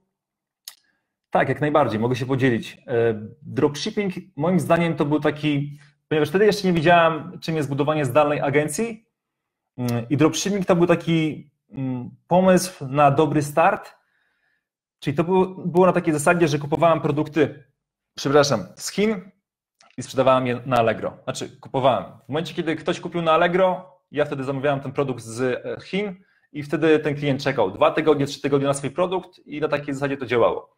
Bardzo prosty model, który pozwolił mi wystartować wtedy, kiedy wrzucili mnie z etatu i nie miałem, jeszcze, nie miałem pieniędzy, żeby się utrzymać i dzięki temu, że robiłem ten model biznesu, w bardzo szybkim tempie na Allegro uzyskałem status super sprzedawcy, jeśli dobrze pamiętam. I dzięki temu zacząłem zarabiać 2, 3, 4, 5 tysięcy miesięcznie i zrozumiałem, że kurczę, tutaj zarabiam więcej niż pracując przez cały miesiąc na etacie, kiedy na etacie zarabiałem 2, 2,5 tysiąca. I zrozumiałem, że w momencie, kiedy to był ten moment, w którym ja przestałem szukać idealnych pomysłów na biznes, przestałem szukać nie wiadomo czego, tylko skupiłem się na tym, co już mam, co już wiem i wykorzystałem swoje zasoby, które już po prostu miałem w zanadrzu. Czyli potrafiłem znaleźć produkty odpowiednie. Miałem takie narzędzie jeszcze z etatu mi zostało, to narzędzie nazywało się Trade Watch. To jest takie narzędzie, które taka, taka strona, która pokazuje, co się sprzedaje na, na Allegro najwięcej, najlepiej. Ja e, ogarniałem to narzędzie tak bardzo, bardzo dobrze, ponieważ nikt w mojej firmie w ogóle na to nie poświęcił swego czasu. Ja siedziałem w tej firmie i szukałem różnych produktów, które możemy zamówić E, I znałem to narzędzie bardzo dobrze i potrafiłem znaleźć rzeczy, które świetnie sprzedawały się na Allegro w konkretnym sezonie, na przykład latem, jakieś hamaki, po prostu robiłem to ogłoszenie i to, co znajdowałem, to, co było najlepsze, ja wrzucałem to na Allegro i wrzucałem oferty, nie miałem tych produktów przy sobie, tylko właśnie na tym polega dropshipping. Czyli ktoś zobaczył tę ofertę, ona była tańsza od innych ofert na rynku, więc ludzie to zaczynali zamawiać i to nic, że to było kosztem właśnie tego, że musieli poczekać 2-3 tygodnie.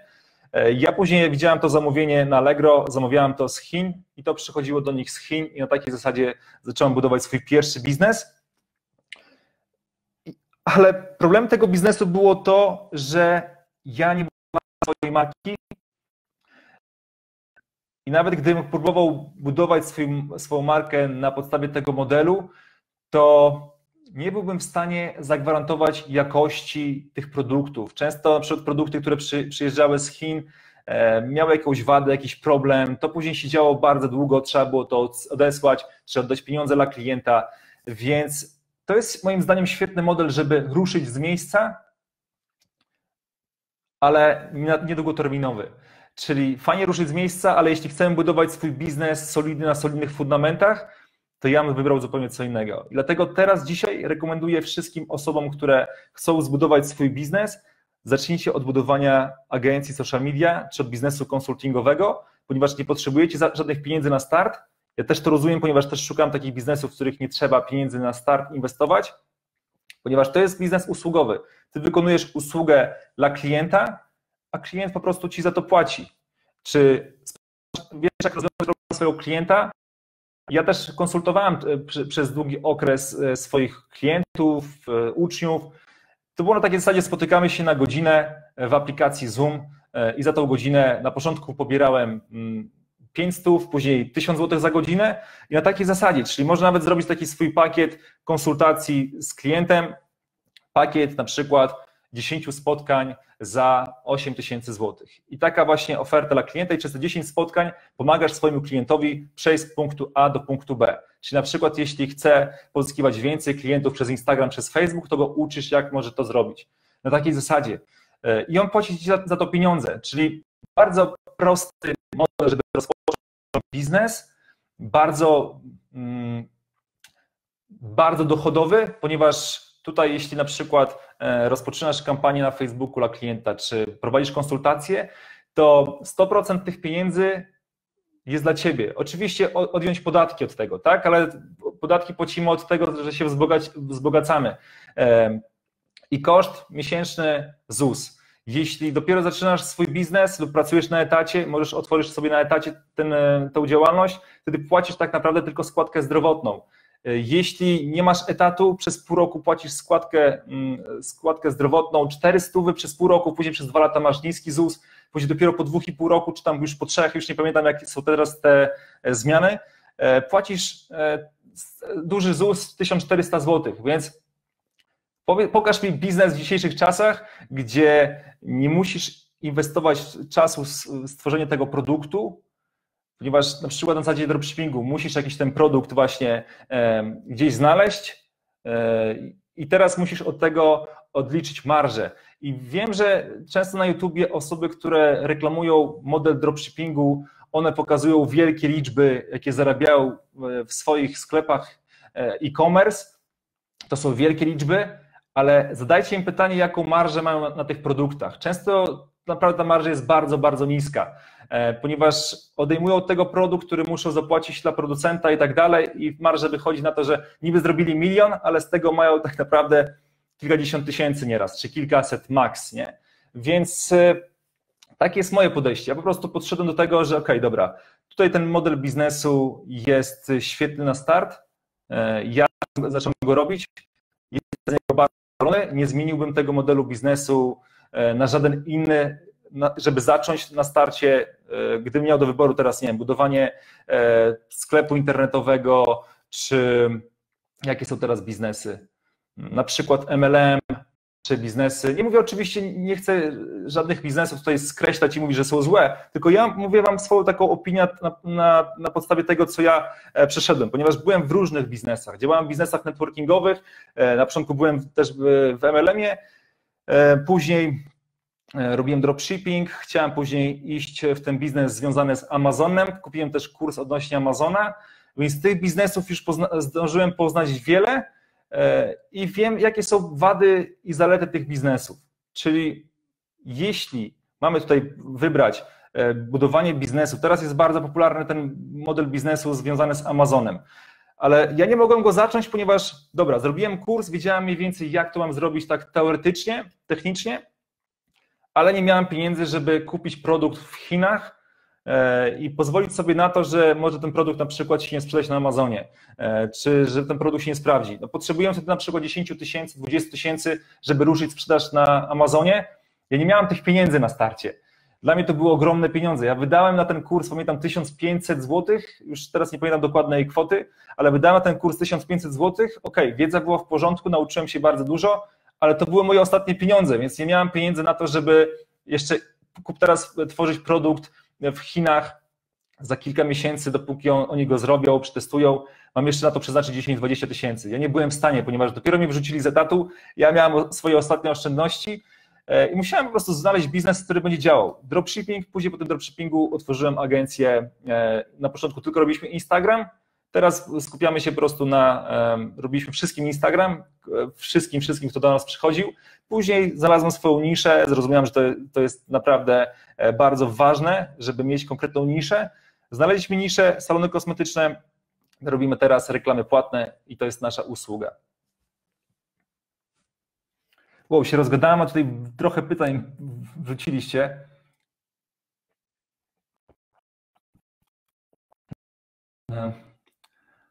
Adrian Prokop pisze, mam pytanko dotyczy, dotyczące niszy. Docelowo chciałem pomagać, e, chciałem pomagać restauracje, restauracjom w pozyskiwaniu klientów, ale tworząc swoją bazę klientów skupiłem się na kilku różnych biznesach i zauważyłem, że przy nagrywaniu audytu najlepiej mi się nagrywało audyt o salonach kosmetycznych myśli, że jest to dobry wyznacznik, aby skupić się na salonach. Dodam, że jeszcze nie mam wielkiej wiedzy na temat branży e, beauty.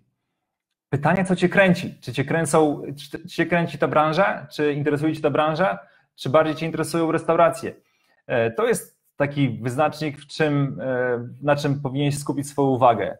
Możesz, oczywiście nie musisz już od samego początku znajdować swojej niszy, już ją sprecyzować, ponieważ często jest tak, że coś zaczynamy robić i po jakimś czasie czujemy, że to nie jest to do końca, że tego do końca jakby nie, nie, czujemy i zawsze możemy to zmienić przecież. To nie jest tak, że jeśli już wybierzesz swoją niszę, to musisz być do końca życia skupiony w niszy i tylko robić tą niszę. Możesz po prostu to zmienić i czasami po prostu możesz zacząć od kilku nisz, zobaczyć sobie, dobra, jednak w tej niszy na przykład dostarczam lepsze efekty, ta nisza mi się bardziej podoba, bardziej, lubię, bardziej ją lubię, bardziej ją rozumiem i wtedy robisz po prostu e, specjalizację. Czyli zaczynasz od bycia tego, takim generalistą, a później idziesz w specja, specjalistykę. E, niektórzy już od, od razu na samym początku wybierają po prostu niszę, lubią tą niszę, rozumieją ją, wchodzą w nią, działają, są zadowoleni, mają efekty. Wszystko zależy po prostu od tego, co siedzi w Twojej głowie i od tego, abyś po prostu zaczął robić. Abyś zaczął robić, nieraz koncentrujemy się na takich trochę mm, na niepotrzebnych rzeczach, a omijamy właśnie robienie roboty. Zacznijcie robić robotę, wtedy podczas robienia roboty nabieracie pewności siebie i wiele rzeczy się zaczyna prostować podczas działania.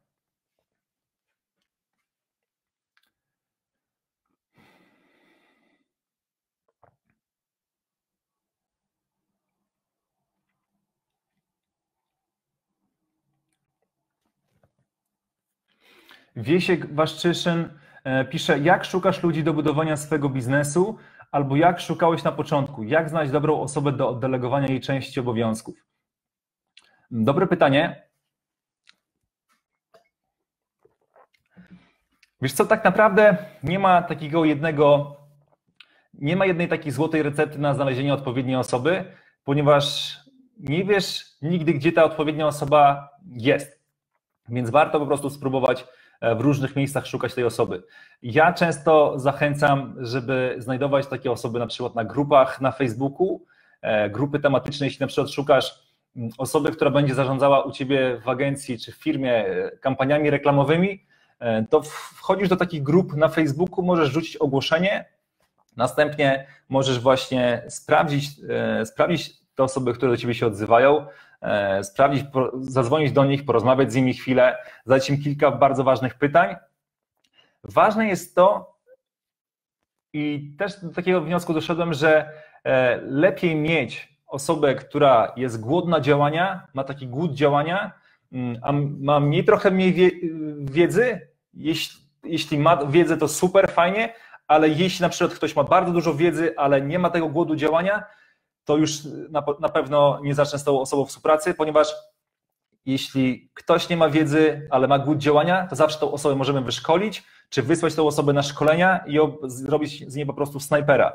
Ale jeśli nie ma tego głodu wiedzy, a ma mnóstwo wiedzy, to będzie ciężka, ciężko bardzo przebiegała ta współpraca. Także bardzo ważne jest to, żeby ta osoba była głodna mm, działania, też się jakby mm, angażowała w to, co robi, aby kochała to, co robi. Dlatego ja często właśnie pytam osoby, które, z którymi gdzieś tam zaczynam współpracę, e, o to, czy dlaczego właśnie lubią robić to, co ro, robią.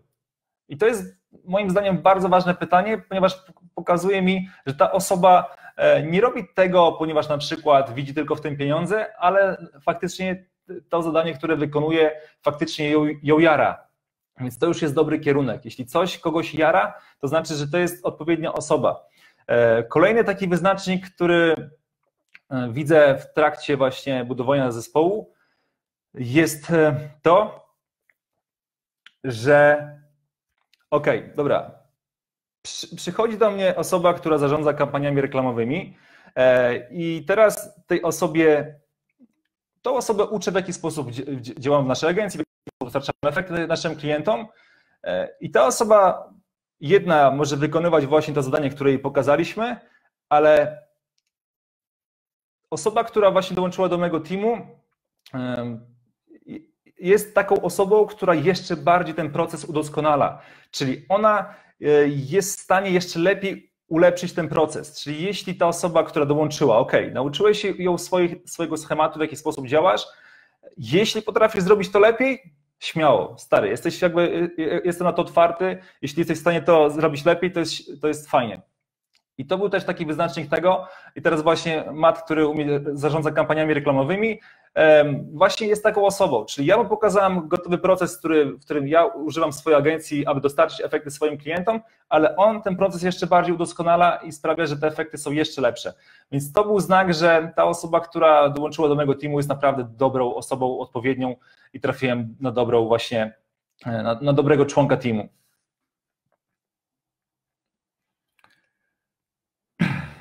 Aleksandra Bendek. Jestem na etapie tworzenia szablonu swojej firmy. Tworzę film reklamowy swojej osoby, żeby móc przedstawić, czym się zajmuję w pigułce. Następnie na jego podstawie chcę zdobyć klientów. Tak jak ty mówisz w pisaniu wiadomości do potencjalnych klientów, to ja chcę wysłać filmik. Czy uważasz, że jest to dobry pomysł? Hmm. Wiesz co, chciałem zobaczyć, y, na, na czym polega ten filmik, ponieważ tak naprawdę trochę to może być e, zgubne, ponieważ my często, kiedy budujemy swoją agencję, skupiamy się na sobie, na tym, co my chcemy, w jaki sposób my chcemy to zrobić, ale bardzo mało koncentrujemy się na tym, co chce klient. A moim zdaniem to jest najważniejsze. Na tym polega biznes. Biznes jest oparty na ludziach. Powtarzam to już drugi raz dzisiaj, ale to jest bardzo, bardzo ważne. Czyli o wiele lepsze będzie, kiedy ty weźmiesz się za robotę i zaczniesz do tych osób pisać, zapytasz ich, porozmawiasz ze swoją grupą docelową, ze swoją niszą. Jeśli wybrałeś już wcześniej w poprzedniej wiadomości e, tą grupę, tą swoją niszę, którą rozumiesz, lubisz, e, którą, od której chcesz zacząć, to o wiele lepsze będzie e, napisanie do tych osób, porozmawianie z tymi osobami, zapytanie ich o to, jaki one mają problem, z czym się najczęściej borykają, jakie mają trudności, co im sprawia największą trudność w mediach społecznościowych i zrobisz taką sobie ankietę, znajdziesz właśnie ich problemy, zapiszesz sobie to wszystko i teraz Teraz, jeśli będziesz widziała, jak rozwiązać problem tych osób, to świetnie. Teraz możesz właśnie do nich się odezwać i w tym wideo, jeśli dasz rozwiązanie ich problemów tego, jak może ich właśnie problem zostać rozwiązany przez ciebie, to świetnie, to myślę, że wtedy to wideo będzie działało.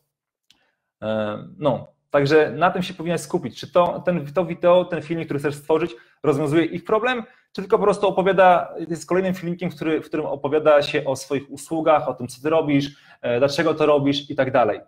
Ludzie nie mają czasu na oglądanie tego, ponieważ ich nie interesuje to, co ty robisz, czym się zajmujesz, jakie usługi masz, ich interesuje, czy ich problem zostanie rozwiązany. I tylko to. Władek Laszko pyta, w przypadku dropshippingu, jak sobie poradziłeś ze zwrotami, z tymi, że ludzie są niecierpliwi, często wystawiają negatywne opinie za to, że przesyłka szła 2, 3 lub 4 tygodnie. Robiłeś to tylko na Allegro? Mm, tak, robiłem to tylko na Allegro i z tego co pamiętam, trochę na eBayu, tak przez, przez tak kilka tam miałem takich właśnie ofert na eBayu, aczkolwiek tak 90% myślę, że to, był, to, to było tylko Allegro.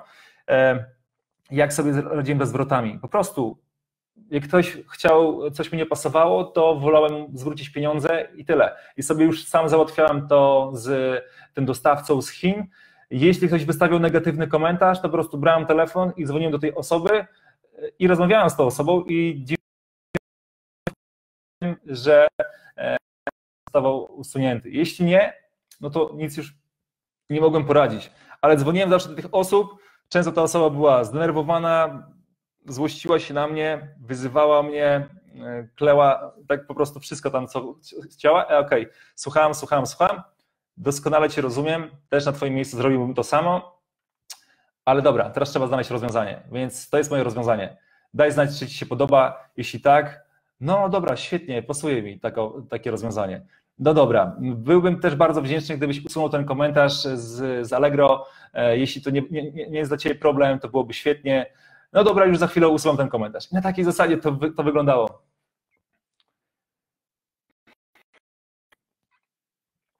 Widać, że skończyłam kurs, niedługo zaczynam. Ten początek chyba jest najtrudniejszy. Co sądzicie?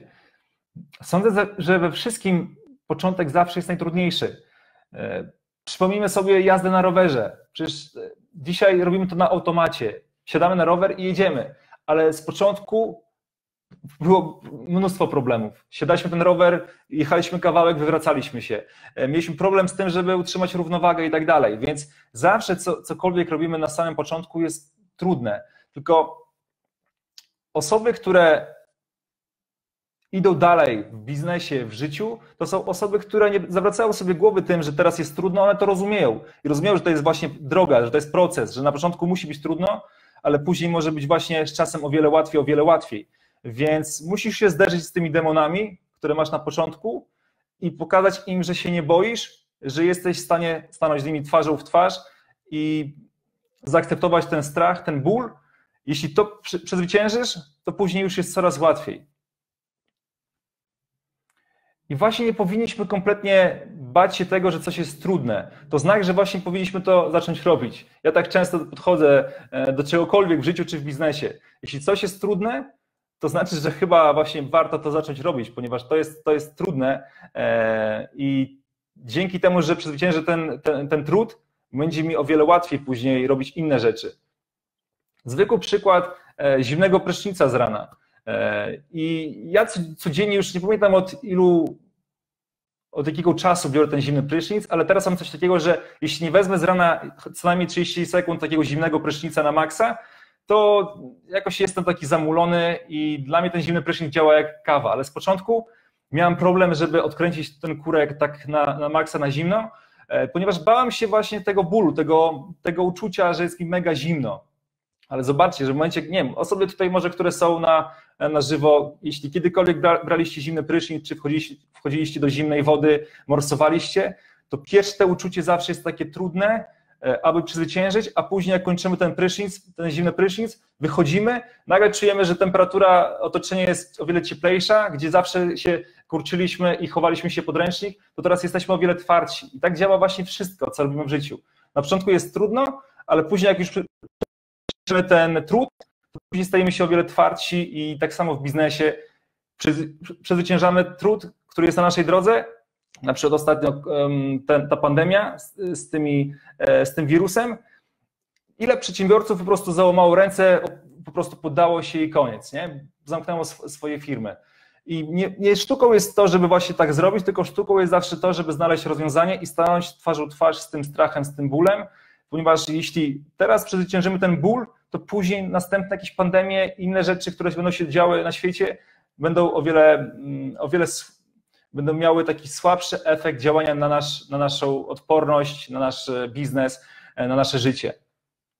Mam nadzieję, że rozumiecie to, co chcę Wam przekazać.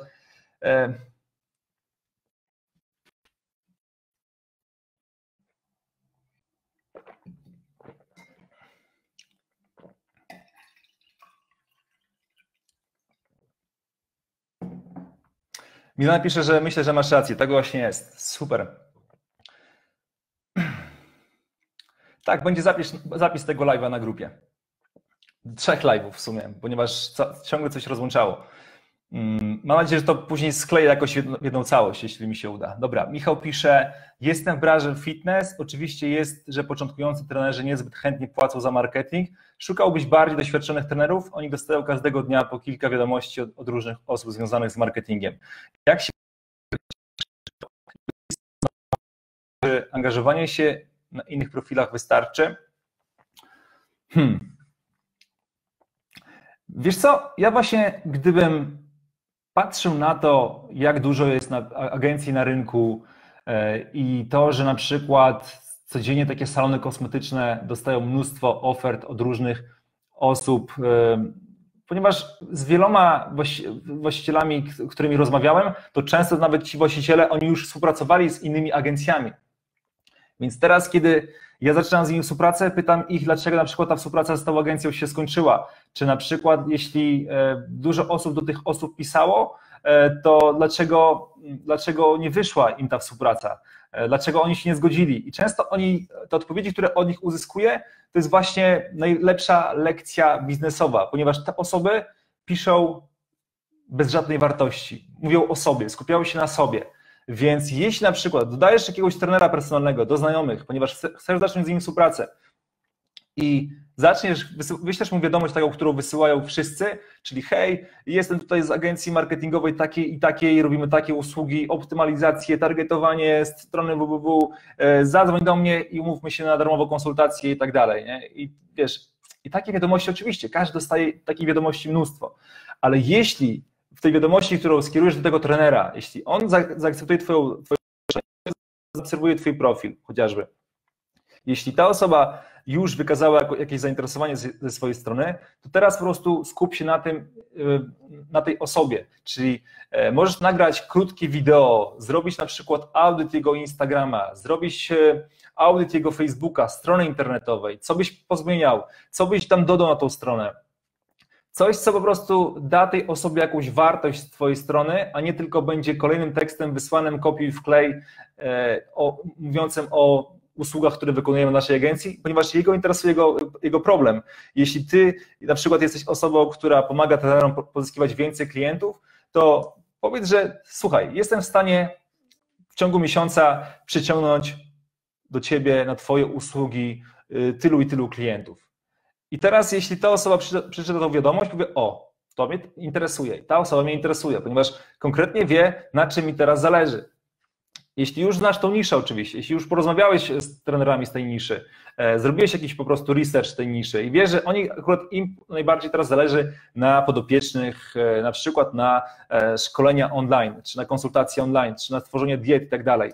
Więc na takiej zasadzie, po prostu zawsze idąc do kogoś, miej coś dla niego, jakąś wartość, a nie po prostu jakbyś wszedł do kogoś do domu, do mieszkania i mówił o tym, słuchaj, u mnie w domu to jest świetnie, robimy to, robimy to, robimy to, a u ciebie tutaj jakby to słabo jest, nie?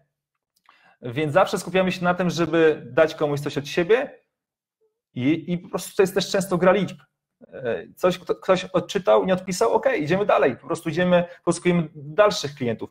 I teraz chodzi o to, żeby pozyskać jednego, drugiego, trzeciego klienta i skupić się na tym, żeby dostarczyć tym osobom jak najlepsze efekty, i uzyskać od nich rekomendacje.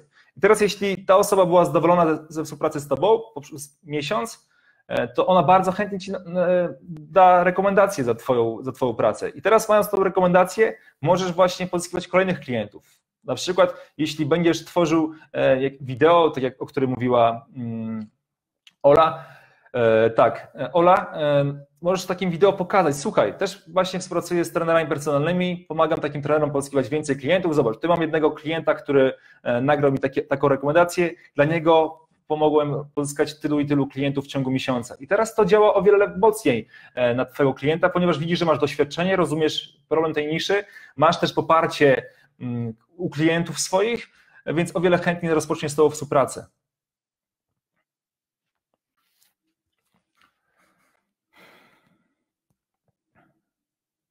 Mateusz piszesz, świetnie tłumaczysz Heniu, bardzo Ci dziękuję. Mm, Władek Leszko, super wielkie dzięki za odpowiedź, dajesz mega wartość na tym live. Dziękuję bardzo. Czy przed wypuszczeniem swojego kursu przerabiałeś kursy od zagranicznych osób dotyczących social media marketingu? E, tak, przerabiałem kurs na przykład Tai Lopeza kiedyś, e, aczkolwiek po prostu nie byłem z tego kursu zadowolony, ponieważ jego metody były bardziej takie właśnie, żeby e, iść do firmy, mm, mieć jakąś tam swoją ofertę na tej na, na kartce, iść do firmy e, i chodzić z firmy do firmy, trochę jak tacy Jehowi, nie obrażając oczywiście Jehowych, e, ponieważ uważam, że to są pracowici bardzo ludzie, e, ale jak tacy, właśnie takie osoby chodzą z firmy do firmy, tracimy mnóstwo czasu, tracimy mnóstwo pieniędzy na dojazdy, tracimy bardzo dużo takiej naszej energii, ponieważ kiedy zostajemy przedsiębiorców zazwyczaj w ich firmach, to oni są najczęściej bardzo zajęci. Oni nie mają czasu na to, żeby z nami porozmawiać.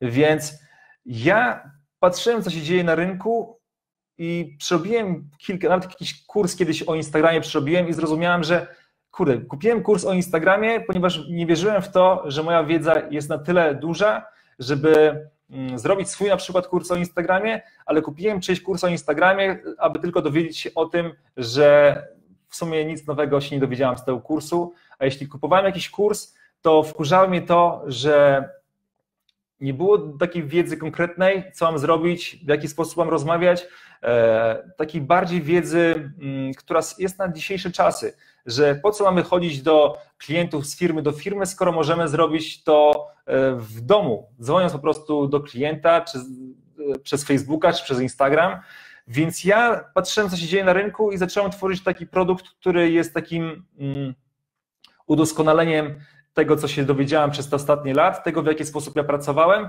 e, tego, w jaki sposób ja działam, czyli daję tak naprawdę całą moją drogę, wszystkie moje, e, wszystkie moje metody, daję Ci gotową mapę do celu, więc to jest w zasadzie taki pareto, czyli ja pewne rzeczy przerobiłem, one były nieskuteczne, więc ja tego nie dawałem w kursie ZSA, tylko w kursie ZSA już opakowałem to, co działa, co daje ci takie 80-20, co po prostu działa. Siadasz, robisz, uczysz się, wprowadzasz w życie i osiągasz te efekty znacznie szybciej ode mnie, ponieważ ja już przerobiłem pewne rzeczy, które nie działają, a ty nie musisz już tego przerabiać, więc zyskujesz czas i pieniądze, chociażby na to, że przeznaczasz pieniądze na jakieś inne kursy, które które są słabe. I dlatego jak, jak patrzyłem, co się dzieje na rynku, że są słabe kursy, kupując jakiś kurs, nie mam żadnego wsparcia, e, w ogóle z tą osobą nie mam kontaktu, mam jakieś pytania podczas tego kursu, e, widzę, że ta osoba ma totalnie mnie gdzieś, ona nagle zaczyna robić, na przykład ten Tai zaczął robić kursy o jakimś dropshippingu, o e-commerce, nagle widzę, że jakieś kursy o czymś innym robi. Ja mówię, kurde, no chyba ta osoba do końca jakby nie jest skupiona na tym, żeby mnie nauczyć tej wiedzy, tylko ona jest skupiona bardziej na fejmie, jest skupiona na tym, żeby mm, robić e, produkt za produktem, a niekoniecznie robić naprawdę jakościowo, jakościową rzecz, e, która rozwiąże problemy jego klientów. Więc zobaczyłem, że tak wygląda 99% rynku, który jest w Polsce i za granicą, że ludzie po prostu klepią produkty na siłę, aby mieć jak najwięcej produktów typu kursów, e, które jak najszybciej się sprzedadzą, aby zarobili jak najwięcej pieniędzy, a niekoniecznie zależy im na efektach ich kursantów, ich uczniów.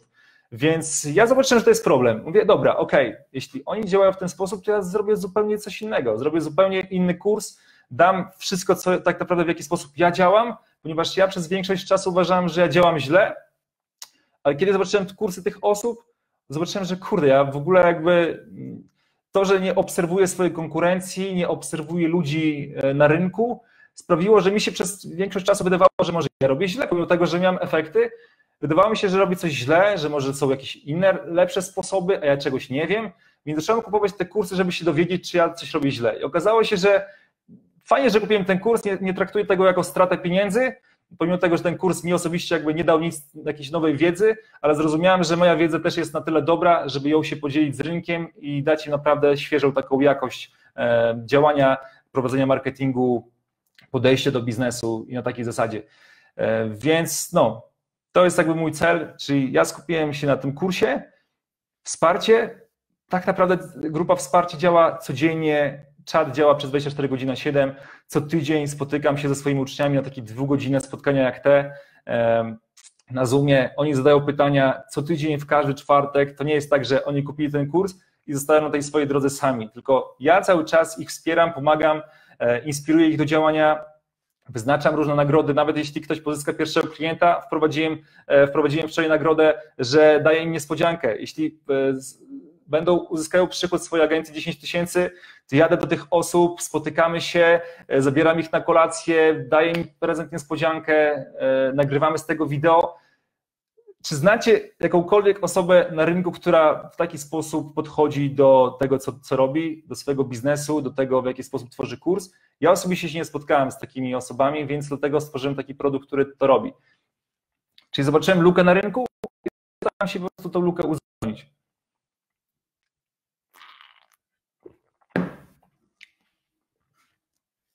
Dobra, nie widzę tutaj żadnych pytań. Czekam na nowe pytania. Jeśli nie ma pytań, to po prostu kończymy spotkanie. Mam nadzieję, że na wszystko odpowiedziałem. Mm, przejrzę jeszcze raz komentarze.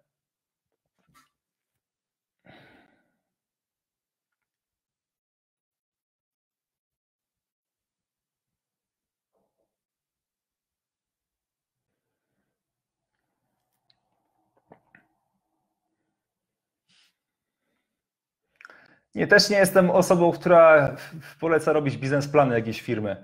E, często są osoby, które siedzą miesiącami, tworzą biznesplan swojej firmy i tak naprawdę ten biznesplan jest nic nie wart. Po prostu nic nie warty jest ten biznesplan. Cały biznes polega na tym, żeby znaleźć niszę, znaleźć, zidentyfikować problem, rozwiązać ten problem, macie biznes. Nie musicie tutaj siedzieć, tworzyć stron internetowych, tworzyć mm, biznesplanów, wizytówek i większość właśnie osób na tym się skupia. Na zbudowaniu rozpoznawalności, na budowaniu mm, wizytówek, szyldów swojej firmy, szukaniu e, różnych takich lokali najlepszych. E, zatrudniają już na starcie tysiące pracowników. Bez sensu. Mm, Piotr pyta, co jeśli ktoś nie ma Instagrama, nie korzysta z niego w ogóle? No to, to nie. Nie rozumiem Twojego pytania kompletnie. Co masz kon konkretnie, Piotrek, na myśli? Chcesz budować biznes? Jeśli chcesz budować biznes, to Instagram nie jest Tobie koniecznie. Co konkretnie chcesz uzyskać przez Instagram? Musisz bardziej sprecyzować swoje pytanie.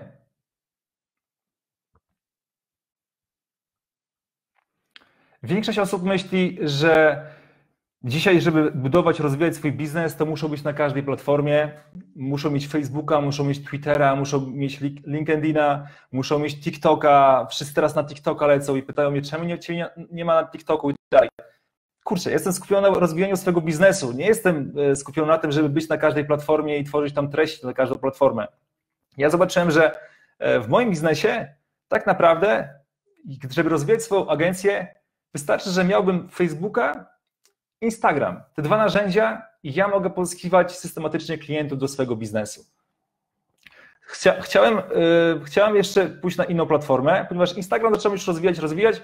Ok, dobra, jest ten Instagram rozwinięty, jestem tam prawdopodobnie najczęściej. Najczęściej spotykacie mnie na Instagramie. Profil na Facebooku służy mi do tego, żeby właśnie robić takie organiczne y, zadania typu właśnie grupa na Facebooku, coś tam, coś tam, kontakt, e, kontakt z potencjalnymi klientami. Fanpage y, służy mi do tego, żeby robić reklamę. Mm, Instagram, profil na Instagramie. Buduję relacje z Wami, buduję relacje z swoją społecznością. Myślę, że to też takie fajne narzędzie dla mnie, kiedy już kiedyś zrobiłem tam dużą, do, dobrą robotę, zbudowałem fajną społeczność, teraz właśnie o wiele, o wiele łatwiej jest mi tego Instagrama monetyzować, kierować na stronę kursu, czy kierować na stronę YouTube'a i rozwijać inne platformy poprzez właśnie tego Instagrama. Czyli nawet jeśli robię transmisję live na Facebooku, to mogę zrobić Insta Stories i zrobić swipe w górę i pokierować ten ruch na, na Facebooka, że jest wydarzenie, dołączcie. Czy jest wideo na YouTubie, to mogę pokierować ten ruch na YouTube'a. Więc na takiej zasadzie mm, i działania organiczne. Cały czas nagrywam relacje, wrzucam e, raz w tygodniu posty na Instagram. YouTube nagrywam co tydzień tam wideo, ponieważ chciałem właśnie rozwijać tego swojego YouTube'a, chciałem dawać jeszcze większą e, wartość dla swojej społeczności. E, to bardziej YouTube mi bardziej służy do tego, żeby to jest świetne narzędzie takie organiczne, które pracuje za mnie praktycznie cały czas.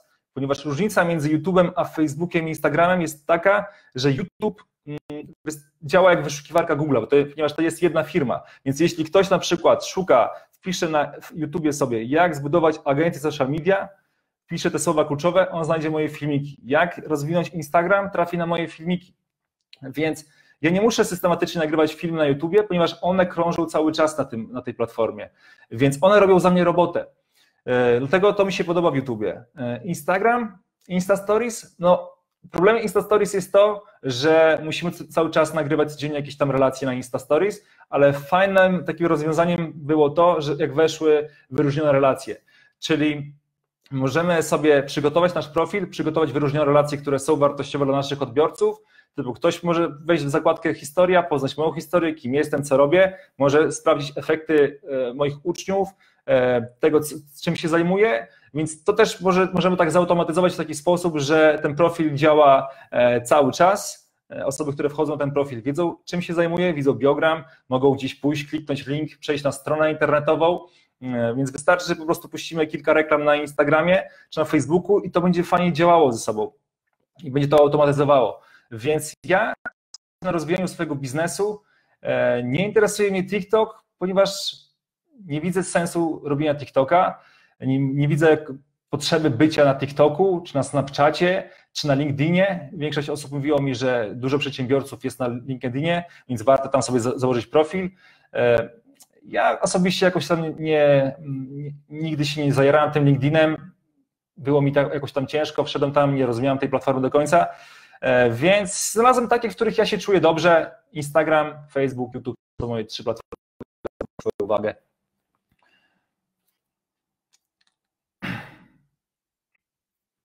Mateusz Witkowski pisze, poruszyłeś fajny temat. Wiele mentorów, trenerów twierdzi, że trzeba być wszędzie, gdzie, gdzie się da, żeby być zauważonym, bo wszędzie mogą być potencjalni e, klienci. Wiesz co, mówią tak często osoby, które nie wiedzą do końca, gdzie są ich potencjalni klienci.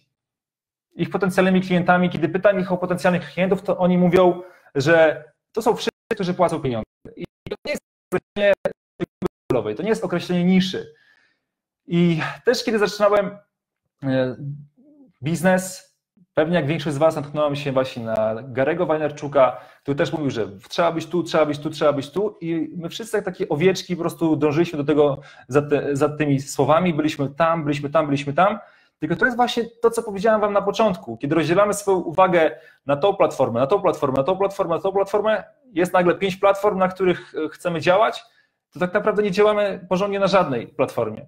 Więc zawsze rekomenduję od tego, niezależnie co robicie w życiu, zacznijcie robić jedną rzecz dobrze. Nawet tutaj macie książkę Jedna rzecz dla wszystkich osób, które lubią tą filozofię, to polecam Wam przeczytać tą książkę. Jedna rzecz się nazywa. E, I ja po przeczytaniu tej książki bardzo mi się tak uporządkowały pewne rzeczy, ponieważ ja osobiście zawsze czułem to, że to jest zła droga robienie wszystkiego, posiadanie kilku biznesów jednocześnie, rozwijanie tych kilku biznesów jednocześnie, działanie ze wszystkimi i tak dalej, posiadanie takiego chaosu w swoim życiu i biznesie. I zrozumiałem, że jednak to, co czułem gdzieś tam w głębi, to ma potwierdzenie. Nie? I ta książka mi właśnie potwierdziła to moje takie myślenie. E, jeśli zaczynam robić Instagram, to skupiam się na Instagramie i mam taki cel, że na przykład zdobyć na tym Instagramie tylu i tylu followersów. Jeśli zaczynam działać na jakiejś platformie, to pod warunkiem, że już tamta jest rozkręcona i teraz o wiele łatwiej jest mi budować drugą platformę, ponieważ mogę z tej jednej platformy, która już jest rozkręcona, mam tam swoją publiczność, mogę przekierować ruch na tą drugą platformę. Więc budowanie tej drugiej platformy jest o wiele szybsze. Ale jeśli budujemy trochę tą, trochę tą, trochę tą, trochę tą, zaczynamy po prostu od początku i robimy TikToka, ponieważ ktoś tam powiedział, że robić warto TikToka, e, YouTube'a trzeba robić, ponieważ to nie jest na YouTubie ten ktoś tam, ktoś tam, nieważne, jest dużo takich różnych tekstów odnośnie tego, że warto być wszędzie, ale ja polecam zawsze, mówię to, co, jakie, jakie jak ja rekomenduję moim uczniom ZSA, gdziekolwiek, po prostu jak ja mam podejście do tego wszystkiego. Zacznij robić jedną rzecz, zrób to dobrze, a dopiero później myśl o tym, czy robić drugą rzecz, czy warto, czy inwestować warto pieniądze w jakiś drugi biznes, skoro ten pierwszy daje ci fajne efekty. Czemu na przykład ludzie często, kiedy zaczyna im się rozkręcać jakiś biznes, to oni nagle zaczynają inwestować swoje pieniądze chociażby w nieruchomości, czy w po prostu miejsca, swoje pieniądze ja tego do końca nie rozumiem. Jeśli na przykład dobrze rozkręca mi się ten mój biznes i on jest, e, można powiedzieć, skalowalny, ponieważ no jeśli e, nie jest skalowalny, to znaczy, że to jest, coś jest nie tak w tym biznesie, więc musimy nad tym popracować. Jeśli on jest skalowalny, to dlaczego nie powinniśmy jeszcze bardziej inwestować w ten nasz biznes? Jeśli on już działa, nie musimy dywersyfikować na inne biznesy, czy on zadziała, tamten drugi biznes, czy nie zadziała, tylko dlaczego nie skupimy się jeszcze bardziej na tym jednym biznesie, te pieniądze, które zarabiamy, wsadzić w ten jeden biznes e, i rozwijać jeszcze bardziej ten jeden, niż po prostu przeskakiwać na inne, inne biznesy i tak, tak naprawdę w konsekwencji nie robić porządnie żadnego. To jest właśnie problem wielu osób i mm, ja po prostu rekomenduję, żeby zacząć od jednej rzeczy. Jak robimy jedną rzecz, tak robimy drugą rzecz i tak, i tak dalej. Aleksandra Bendek pisze, powiesz o pewności siebie? Czy musimy już wszystko wiedzieć, że móc złożyć, założyć własną firmę? Uważam, że mam wiedzę, ale nie wiem o wszystkim. Wychodzę z założenia, że najlepiej uczyć się na gotowym produkcie. Powiesz coś o tym? Jasne.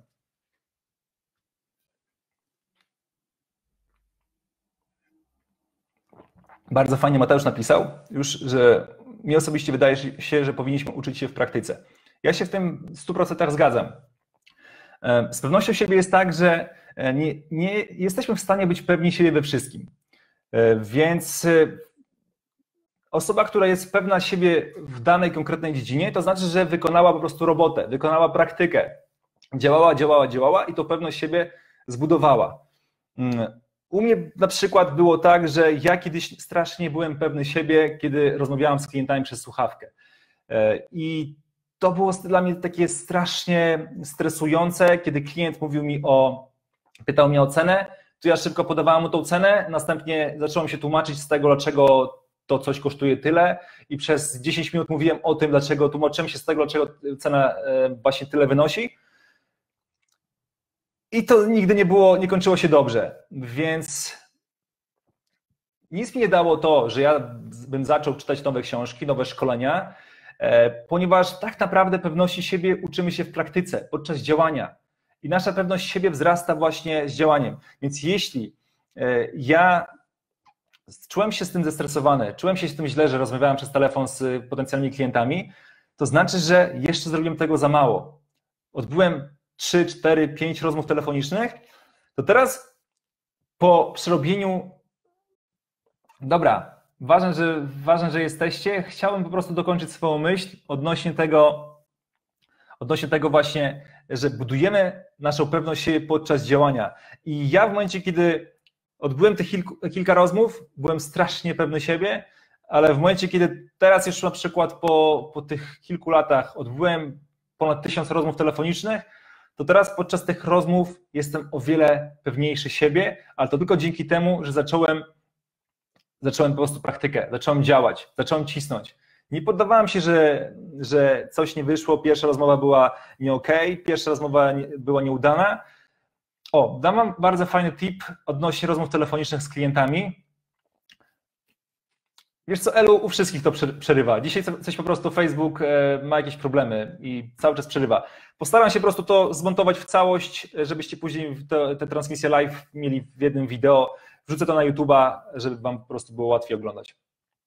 Dam wam bardzo fajny tip odnośnie rozmów telefonicznych z potencjalnymi klientami. E, I to mi bardzo mocno pomogło. E, każdą rozmowę telefoniczną nagrywałem. Czy na dyktafon, czy na kamerkę, czy po prostu w jakiś inny sposób. Nagrywałem każdą moją rozmowę telefoniczną. I po każdej rozmowie telefonicznej analizowałem całą tą rozmowę i zadawałem sobie pytanie, kurczę, dlaczego na przykład ta rozmowa telefoniczna um, nie przyniosła, nie przyniosła mi klienta? Dlaczego ona poniosła porażkę, ta, ta rozmowa? Dlaczego się nie udało? I zawsze był jakiś taki problem podczas tej rozmowy i ja za każdym razem, kiedy to przeanalizowałem tą całą rozmowę, zapisywałem sobie, na przykład klient miał taką taką obiekcję. Ok, czyli ta cała rozmowa, tak używała ta jedna obiekcja klienta. Zapisywałem tą obiekcję tego klienta na kartce i następnym razem zadawałem sobie pytanie, dobra, ok, w jaki sposób mogę tą obiekcję następnym razem podczas rozmowy z innym klientem błyskawicznie e, po prostu tą obiekcję zbić. W jaki sposób mogę to zrobić? E, I na takiej zasadzie właśnie cały czas szkoliłem swój warsztat rozmów telefonicznych z klientami i z czasem stawałem się coraz lepszy w tym. Z czasem e, ta, ten, ta konwersja tych domkniętych sprzedaży była coraz większa, ale tylko to, to dzięki temu, że zacząłem działać, zacząłem właśnie cały czas dzwonić do tych klientów, praktykować ponieważ nam się wydaje, że w czymś nie jesteśmy pewni siebie w dzisiejszych czasach, kiedy mamy dostęp do ogromnej wiedzy, że dobra, nie jestem pewny siebie sprzedaży, e, to w takim razie muszę kupić e, książkę, książkę odnośnie mm, sprzedaży. Jak ją przeczytam, to nagle będę pewniejszy siebie. Albo muszę pójść na jakieś, jakieś szkolenie, żeby być pewnym siebie. Tak to nie działa. Pewność siebie zawsze budujemy podczas działania. Im więcej działamy, tym nasza pewność siebie wzrasta. Duże wartości dajesz i Facebook nie wyrabia. Myślę, że dokładnie tak to jest. Ok, jak zatem przekonać swojego nowego klienta, żeby skorzystał z mniej doświadczonych usług niż z firmy z długoletnim stażem? Bardzo fajne pytanie. Mm, chociażby dlatego, że firmy z długoletnim stażem często traktują swoich klientów jako mm, takie liczby w swoich e, Excelach. E, czyli jeśli mają dużo klientów w swoich agencjach, mają długoletni staż, mniej poświęcają e, uwagi dla swoich klientów, więc możesz nawet tym się wyróżnić, że ty dopiero zaczynasz, ale dzięki temu jesteś bardzo skupiona, masz mało klientów, ale dzięki temu jesteś strasznie zawzięta i strasznie jesteś jakby taka um, na tym, że dostarczyć temu klientowi jak najlepszą usługę, dostarczyć mu jak najlepsze efekty, ponieważ od tego zależy tak naprawdę Twoja kariera. Jeśli będziesz dawała słabe efekty, to Twoja kariera się nie rozwinie, Twój biznes się nie rozwinie. Więc Twoim takim e, priorytetem numer jeden jest dostarczenie jak najlepszych efektów i przez to, że masz mało teraz klientów albo nie masz w ogóle wcale, to będziesz mogła całą swoją uwagę przeznaczyć na tego jednego klienta, aby dostarczyć mu jak najlepsze efekty. Duże firmy, duże agencje, mają mnóstwo klientów, więc się nie martwią tego klienta, że nie dostarczą mu efektów. Na takiej zasadzie po prostu mm, znajdź te rzeczy, które Ciebie wyróżniają od y, takich typowych, dużych agencji na rynku. Co Ciebie wyróżnia? Jakie cechy masz, które, których nie ma ta agencja? Jesteś bardziej może taka ludzka, czyli tam nie w tych agencjach jest często tak, że klient rozmawia z tym, musi to z jakimś menadżerem działu, później jakimś y, gościem od kampanii, później z tym rozmawia, z tym rozmawia a z tobą jest bezpośredni może kontakt, może przez e, rozmowa telefoniczna, możesz, jeszcze lepiej możesz tą osobę obsłużyć niż te agencje wielkie. Więc znajdź te takie punkty, które ciebie wyróżniają i sprawiały, że to są plu, twoje plusy, które ciebie właśnie, mm, które to są twoje mocne strony, atuty twojej agencji. To, to że ty jesteś sama, to nie jest tak naprawdę mm, nic złego, że działasz samodzielnie, że jesteś jakby osobą, która dopiero zaczyna, ponieważ pamiętaj, Olu, o tym, że każdy zaczynał. Wszystkie osoby, które zbudowały biznes, na które teraz na przykład patrzymy, wszystkie osoby zaczynały od zera. Każda osoba zaczynała od pozyskania tego pierwszego klienta, więc się nie możemy bać tego, że też zaczynamy. I często warto o, o tym powiedzieć dla naszego klienta, że zaczynamy, że dopiero uczymy się, e, ale też powiedzieć o tym, dlaczego są plusy tego wszystkiego.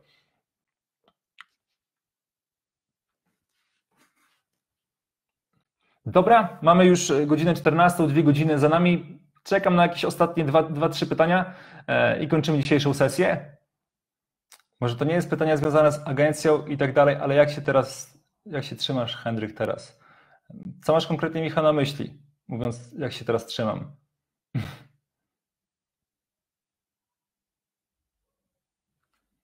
Czy będzie jeszcze live?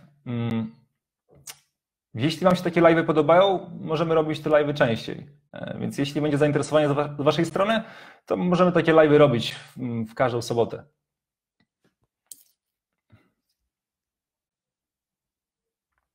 Mam na myśli całą sytuację. Oczywiście czuję się znacznie lepiej, głowa odpoczywa. W dalszym ciągu nie, nie wiem, co masz na myśli, jaką sytuację. Władek Laszko pisze, z jakich narzędzi korzystasz do ułatwiania sobie pracy e, w firmie oraz w codziennym życiu? Wiesz co? Hmm. Jeśli miałbym wybrać jedno takie narzędzie, które, mm, które na przykład w mojej agencji ułatwia nam pracę, to jest to na pewno e, aplikacja Slack. E, może ją kojarzycie. To jest taki, taka aplikacja do mm, rozmów tekstowych z na przykład swoim teamem, i problem w naszej agencji, znaczy w wielu agencjach polega na tym, że nie ma takiej odpowiedniej komunikacji. Ktoś na przykład, klienci piszą na Facebooku, niektórzy piszą na Instagramie, inni jeszcze piszą mailowo. I to jest taki chaos w pewnym momencie, więc musiałem na to znaleźć rozwiązanie. I takim rozwiązaniem był właśnie Slack.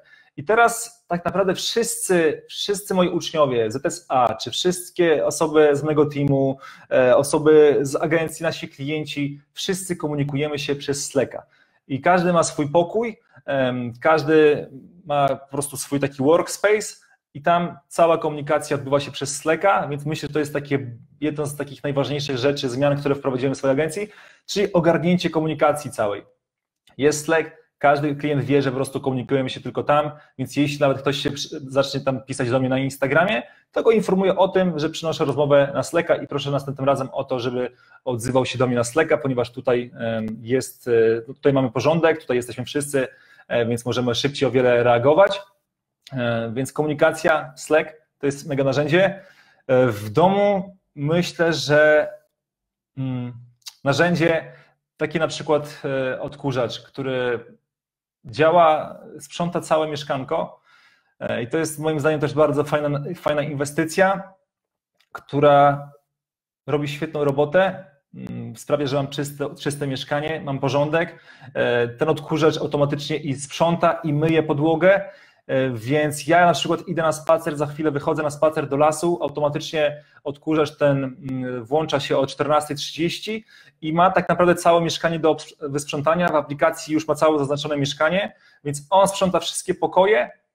Ja wracam, on już jest na miejscu e, po tym spacerze i mam całe mieszkanie lśniące, całą podłogę mam czystą, ponieważ jak już wiecie, jeśli mamy bałagan w mieszkaniu, to, to też bałagan ten oddziałuje na nasz biznes i mamy bałagan w biznesie.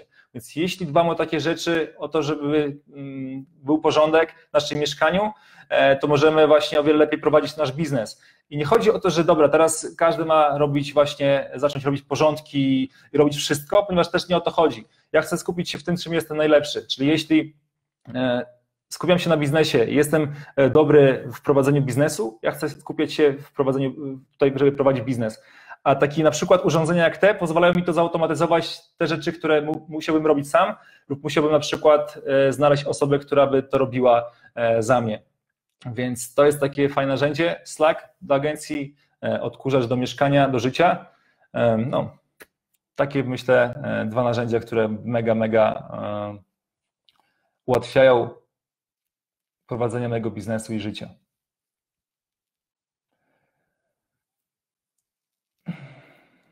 Mam na myśli całą sytuację. Ok, to całą sytuację. Osobiście czuję się znacznie lepiej, głowa odpoczywa. Jeśli chodzi o pandemię, jeśli masz na myśli tą sytuację, to ja kompletnie jakby. Hmm, może tak, jakby staram się przejść obok tego obojętnie po prostu. Ja od początku po prostu wiedziałem, że to jest jakiś, jakaś, jakaś jedna wielka. Jakieś jedno wielkie po prostu kłamstwo z tą pandemią. E, oczywiście każdy ma inne podejście, to jak najbardziej szanuję. Ja wiedziałem, że to jest po prostu jedno wielki jakiś taki bajzel, który ktoś tam wymyślił i teraz my, osoby, które są zwykłymi zadaczami chleba, muszą przez to cierpieć. E, ja oczywiście nie, nie czuję się jako osoba, która na tym akurat cierpi, e, tylko widzę na przykład moich klientów, widzę na przykład moich bliskich, że oni musieli na przykład zamknąć swoje biznesy i staram się postawić w ich miejscu i moim zdaniem ta cała sytuacja z tą pandemią, zamknięcie tych biznesów dało wiele więcej szkód niż cały ten wirus, o którym, o którym ciągle się słyszy, więc no, wiecie, to po pozwala też zobaczyć, jak silny mamy charakter e, w tym, co robimy w biznesie i w życiu e, ponieważ takich różnych akcji, sytuacji gospodarczych czy w naszym prywatnym życiu będzie na naszej drodze bardzo dużo. E, I my, jako przedsiębiorcy, jesteśmy osobami, które rozwiązują problemy, więc nie możemy skupiać się na, na problemach, tylko musimy skupiać się na rozwiązaniach.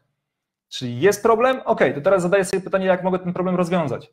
E, a nie po prostu skupiać się na tym i mówić, dobra, to jest problem. Kurczę, no to jest jakby dla mnie chleb powszedni. Ja codziennie rozwiązuję problemy ludzi, więc dla mnie to jest normalne, że jest problem. Teraz zadaję sobie pytanie, jak mogę, e, mogę ten problem rozwiązać i na przykład, jeśli bym prowadził biznes stacjonarny, to zadałbym sobie pytanie, w jaki sposób mogę w przyszłości nie ucierpieć na tym, że prowadzę biznes stacjonarny i mój biznes byłby zamknięty. E, czyli wyciągnąłbym z tego bardzo dużo wniosków. Może powinienem przenieść swoje usługi e, do internetu. Jeśli nie mogę na przykład usług swoich przenieść do internetu, ponieważ są to powiedzmy zabiegi kosmetyczne, to może powinienem stworzyć jakiś kurs odnośnie tego, jak takie zabiegi tworzyć i tak dalej. Więc e, każdy jakiś taki problem na mojej drodze każdy ogólnie problem w waszym życiu czy w waszym biznesie niech daje wam taką mm, wskazówkę, drogowskaz, że może, może coś zrobić właśnie inaczej, może coś zrobić lepiej. E, warto się zawsze przy tym problemie zatrzymać i pomyśleć o tym, co chce życie ci przekazać w tym momencie.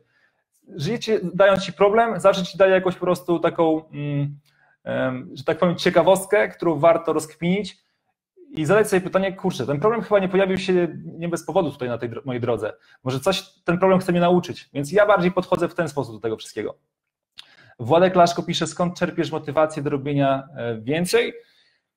Ja zastanawiam się nad tym, skąd czerpię motywację. Ja po prostu wstaję i robię swoją robotę. E, dzień wcześniej mam już plan przygotowany na następny dzień, wstaję i robię. I wiem, jaka jest moja wizja, wiem, jaki, jaki jest mój cel, e, który chcę osiągnąć Czasami mam tą motywację, czasami mi e, nie chce się wstawać z rana, e, czasami chcę pospać dłużej, ale właśnie to buduje, wiem, że to buduje mój charakter. Ja wstaję, po prostu idę robić robotę, ponieważ wiem, jaki mam cel, co chcę osiągnąć. I to jest jakby takim moim, moim zdaniem takie kluczowe. Gdybym siedział i czekał na motywację, aż ona mnie znajdzie, to myślę, że nie zrobiłbym żadnego biznesu, dalej bym może pracował na etacie e, za 2000 i martwił się każdą taką pandemią, która istnieje na świecie, czy jakimś takim problemem, który mnie spotkał w życiu. E, więc robić swoją robotę, bardziej tutaj chodzi o samodyscyplinę niż o motywację. Więc o wiele lepiej być bardziej takim zdyscyplinowanym, znać swój cel. Jeśli Twoim celem jest e, budowanie fajnego biznesu, jeśli Twoim celem jest na przykład zarabianie miesięcznie, to kurczę, nie ma czasu na szukanie motywacji, tylko wiesz, co masz konkretnie zrobić, więc stajesz i robisz, nie? Jakie strony, blogi, podcasty do czerpania wiedzy na temat biznesu, marketingu, social media polecasz? Mm, ja głównie czerpię wiedzę z książek, mm, więc y, gdyby, gdybym miał polecić takie trzy książki e, odnośnie budowania biznesu, mm, to poleciłbym książkę na pewno Ray Dalio, Zasady.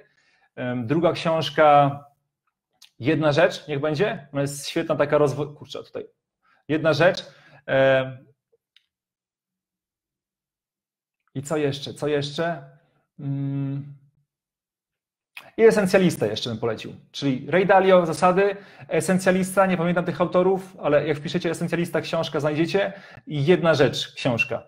E, więc to są takie trzy książki. Ja czerpię wiedzę głównie z książek niż z podcastów. Nie słucham podcastów, nie słucham, nie oglądam social mediów innych, e, innych twórców, innych przedsiębiorców, ponieważ ja głównie skupiam się na tym, żeby uczyć się od osób, które osiągnęły jakieś efekty w biznesie, jeśli chce się uczyć biznesu, e, to patrzę na te osoby, nie które najwięcej mają lajków, wyświetleń, subskrypcji na YouTubie, na Instagramie, w mediach społecznościowych, czyli nie patrzę na tych, którzy najbardziej świecą, tylko patrzę na tych, którzy osiągnęli jakiś sukces. Na przykład, jeśli tak, czytam książkę Ray Dalio, e, możecie sobie tego gościa wpisać, sobie wygooglować.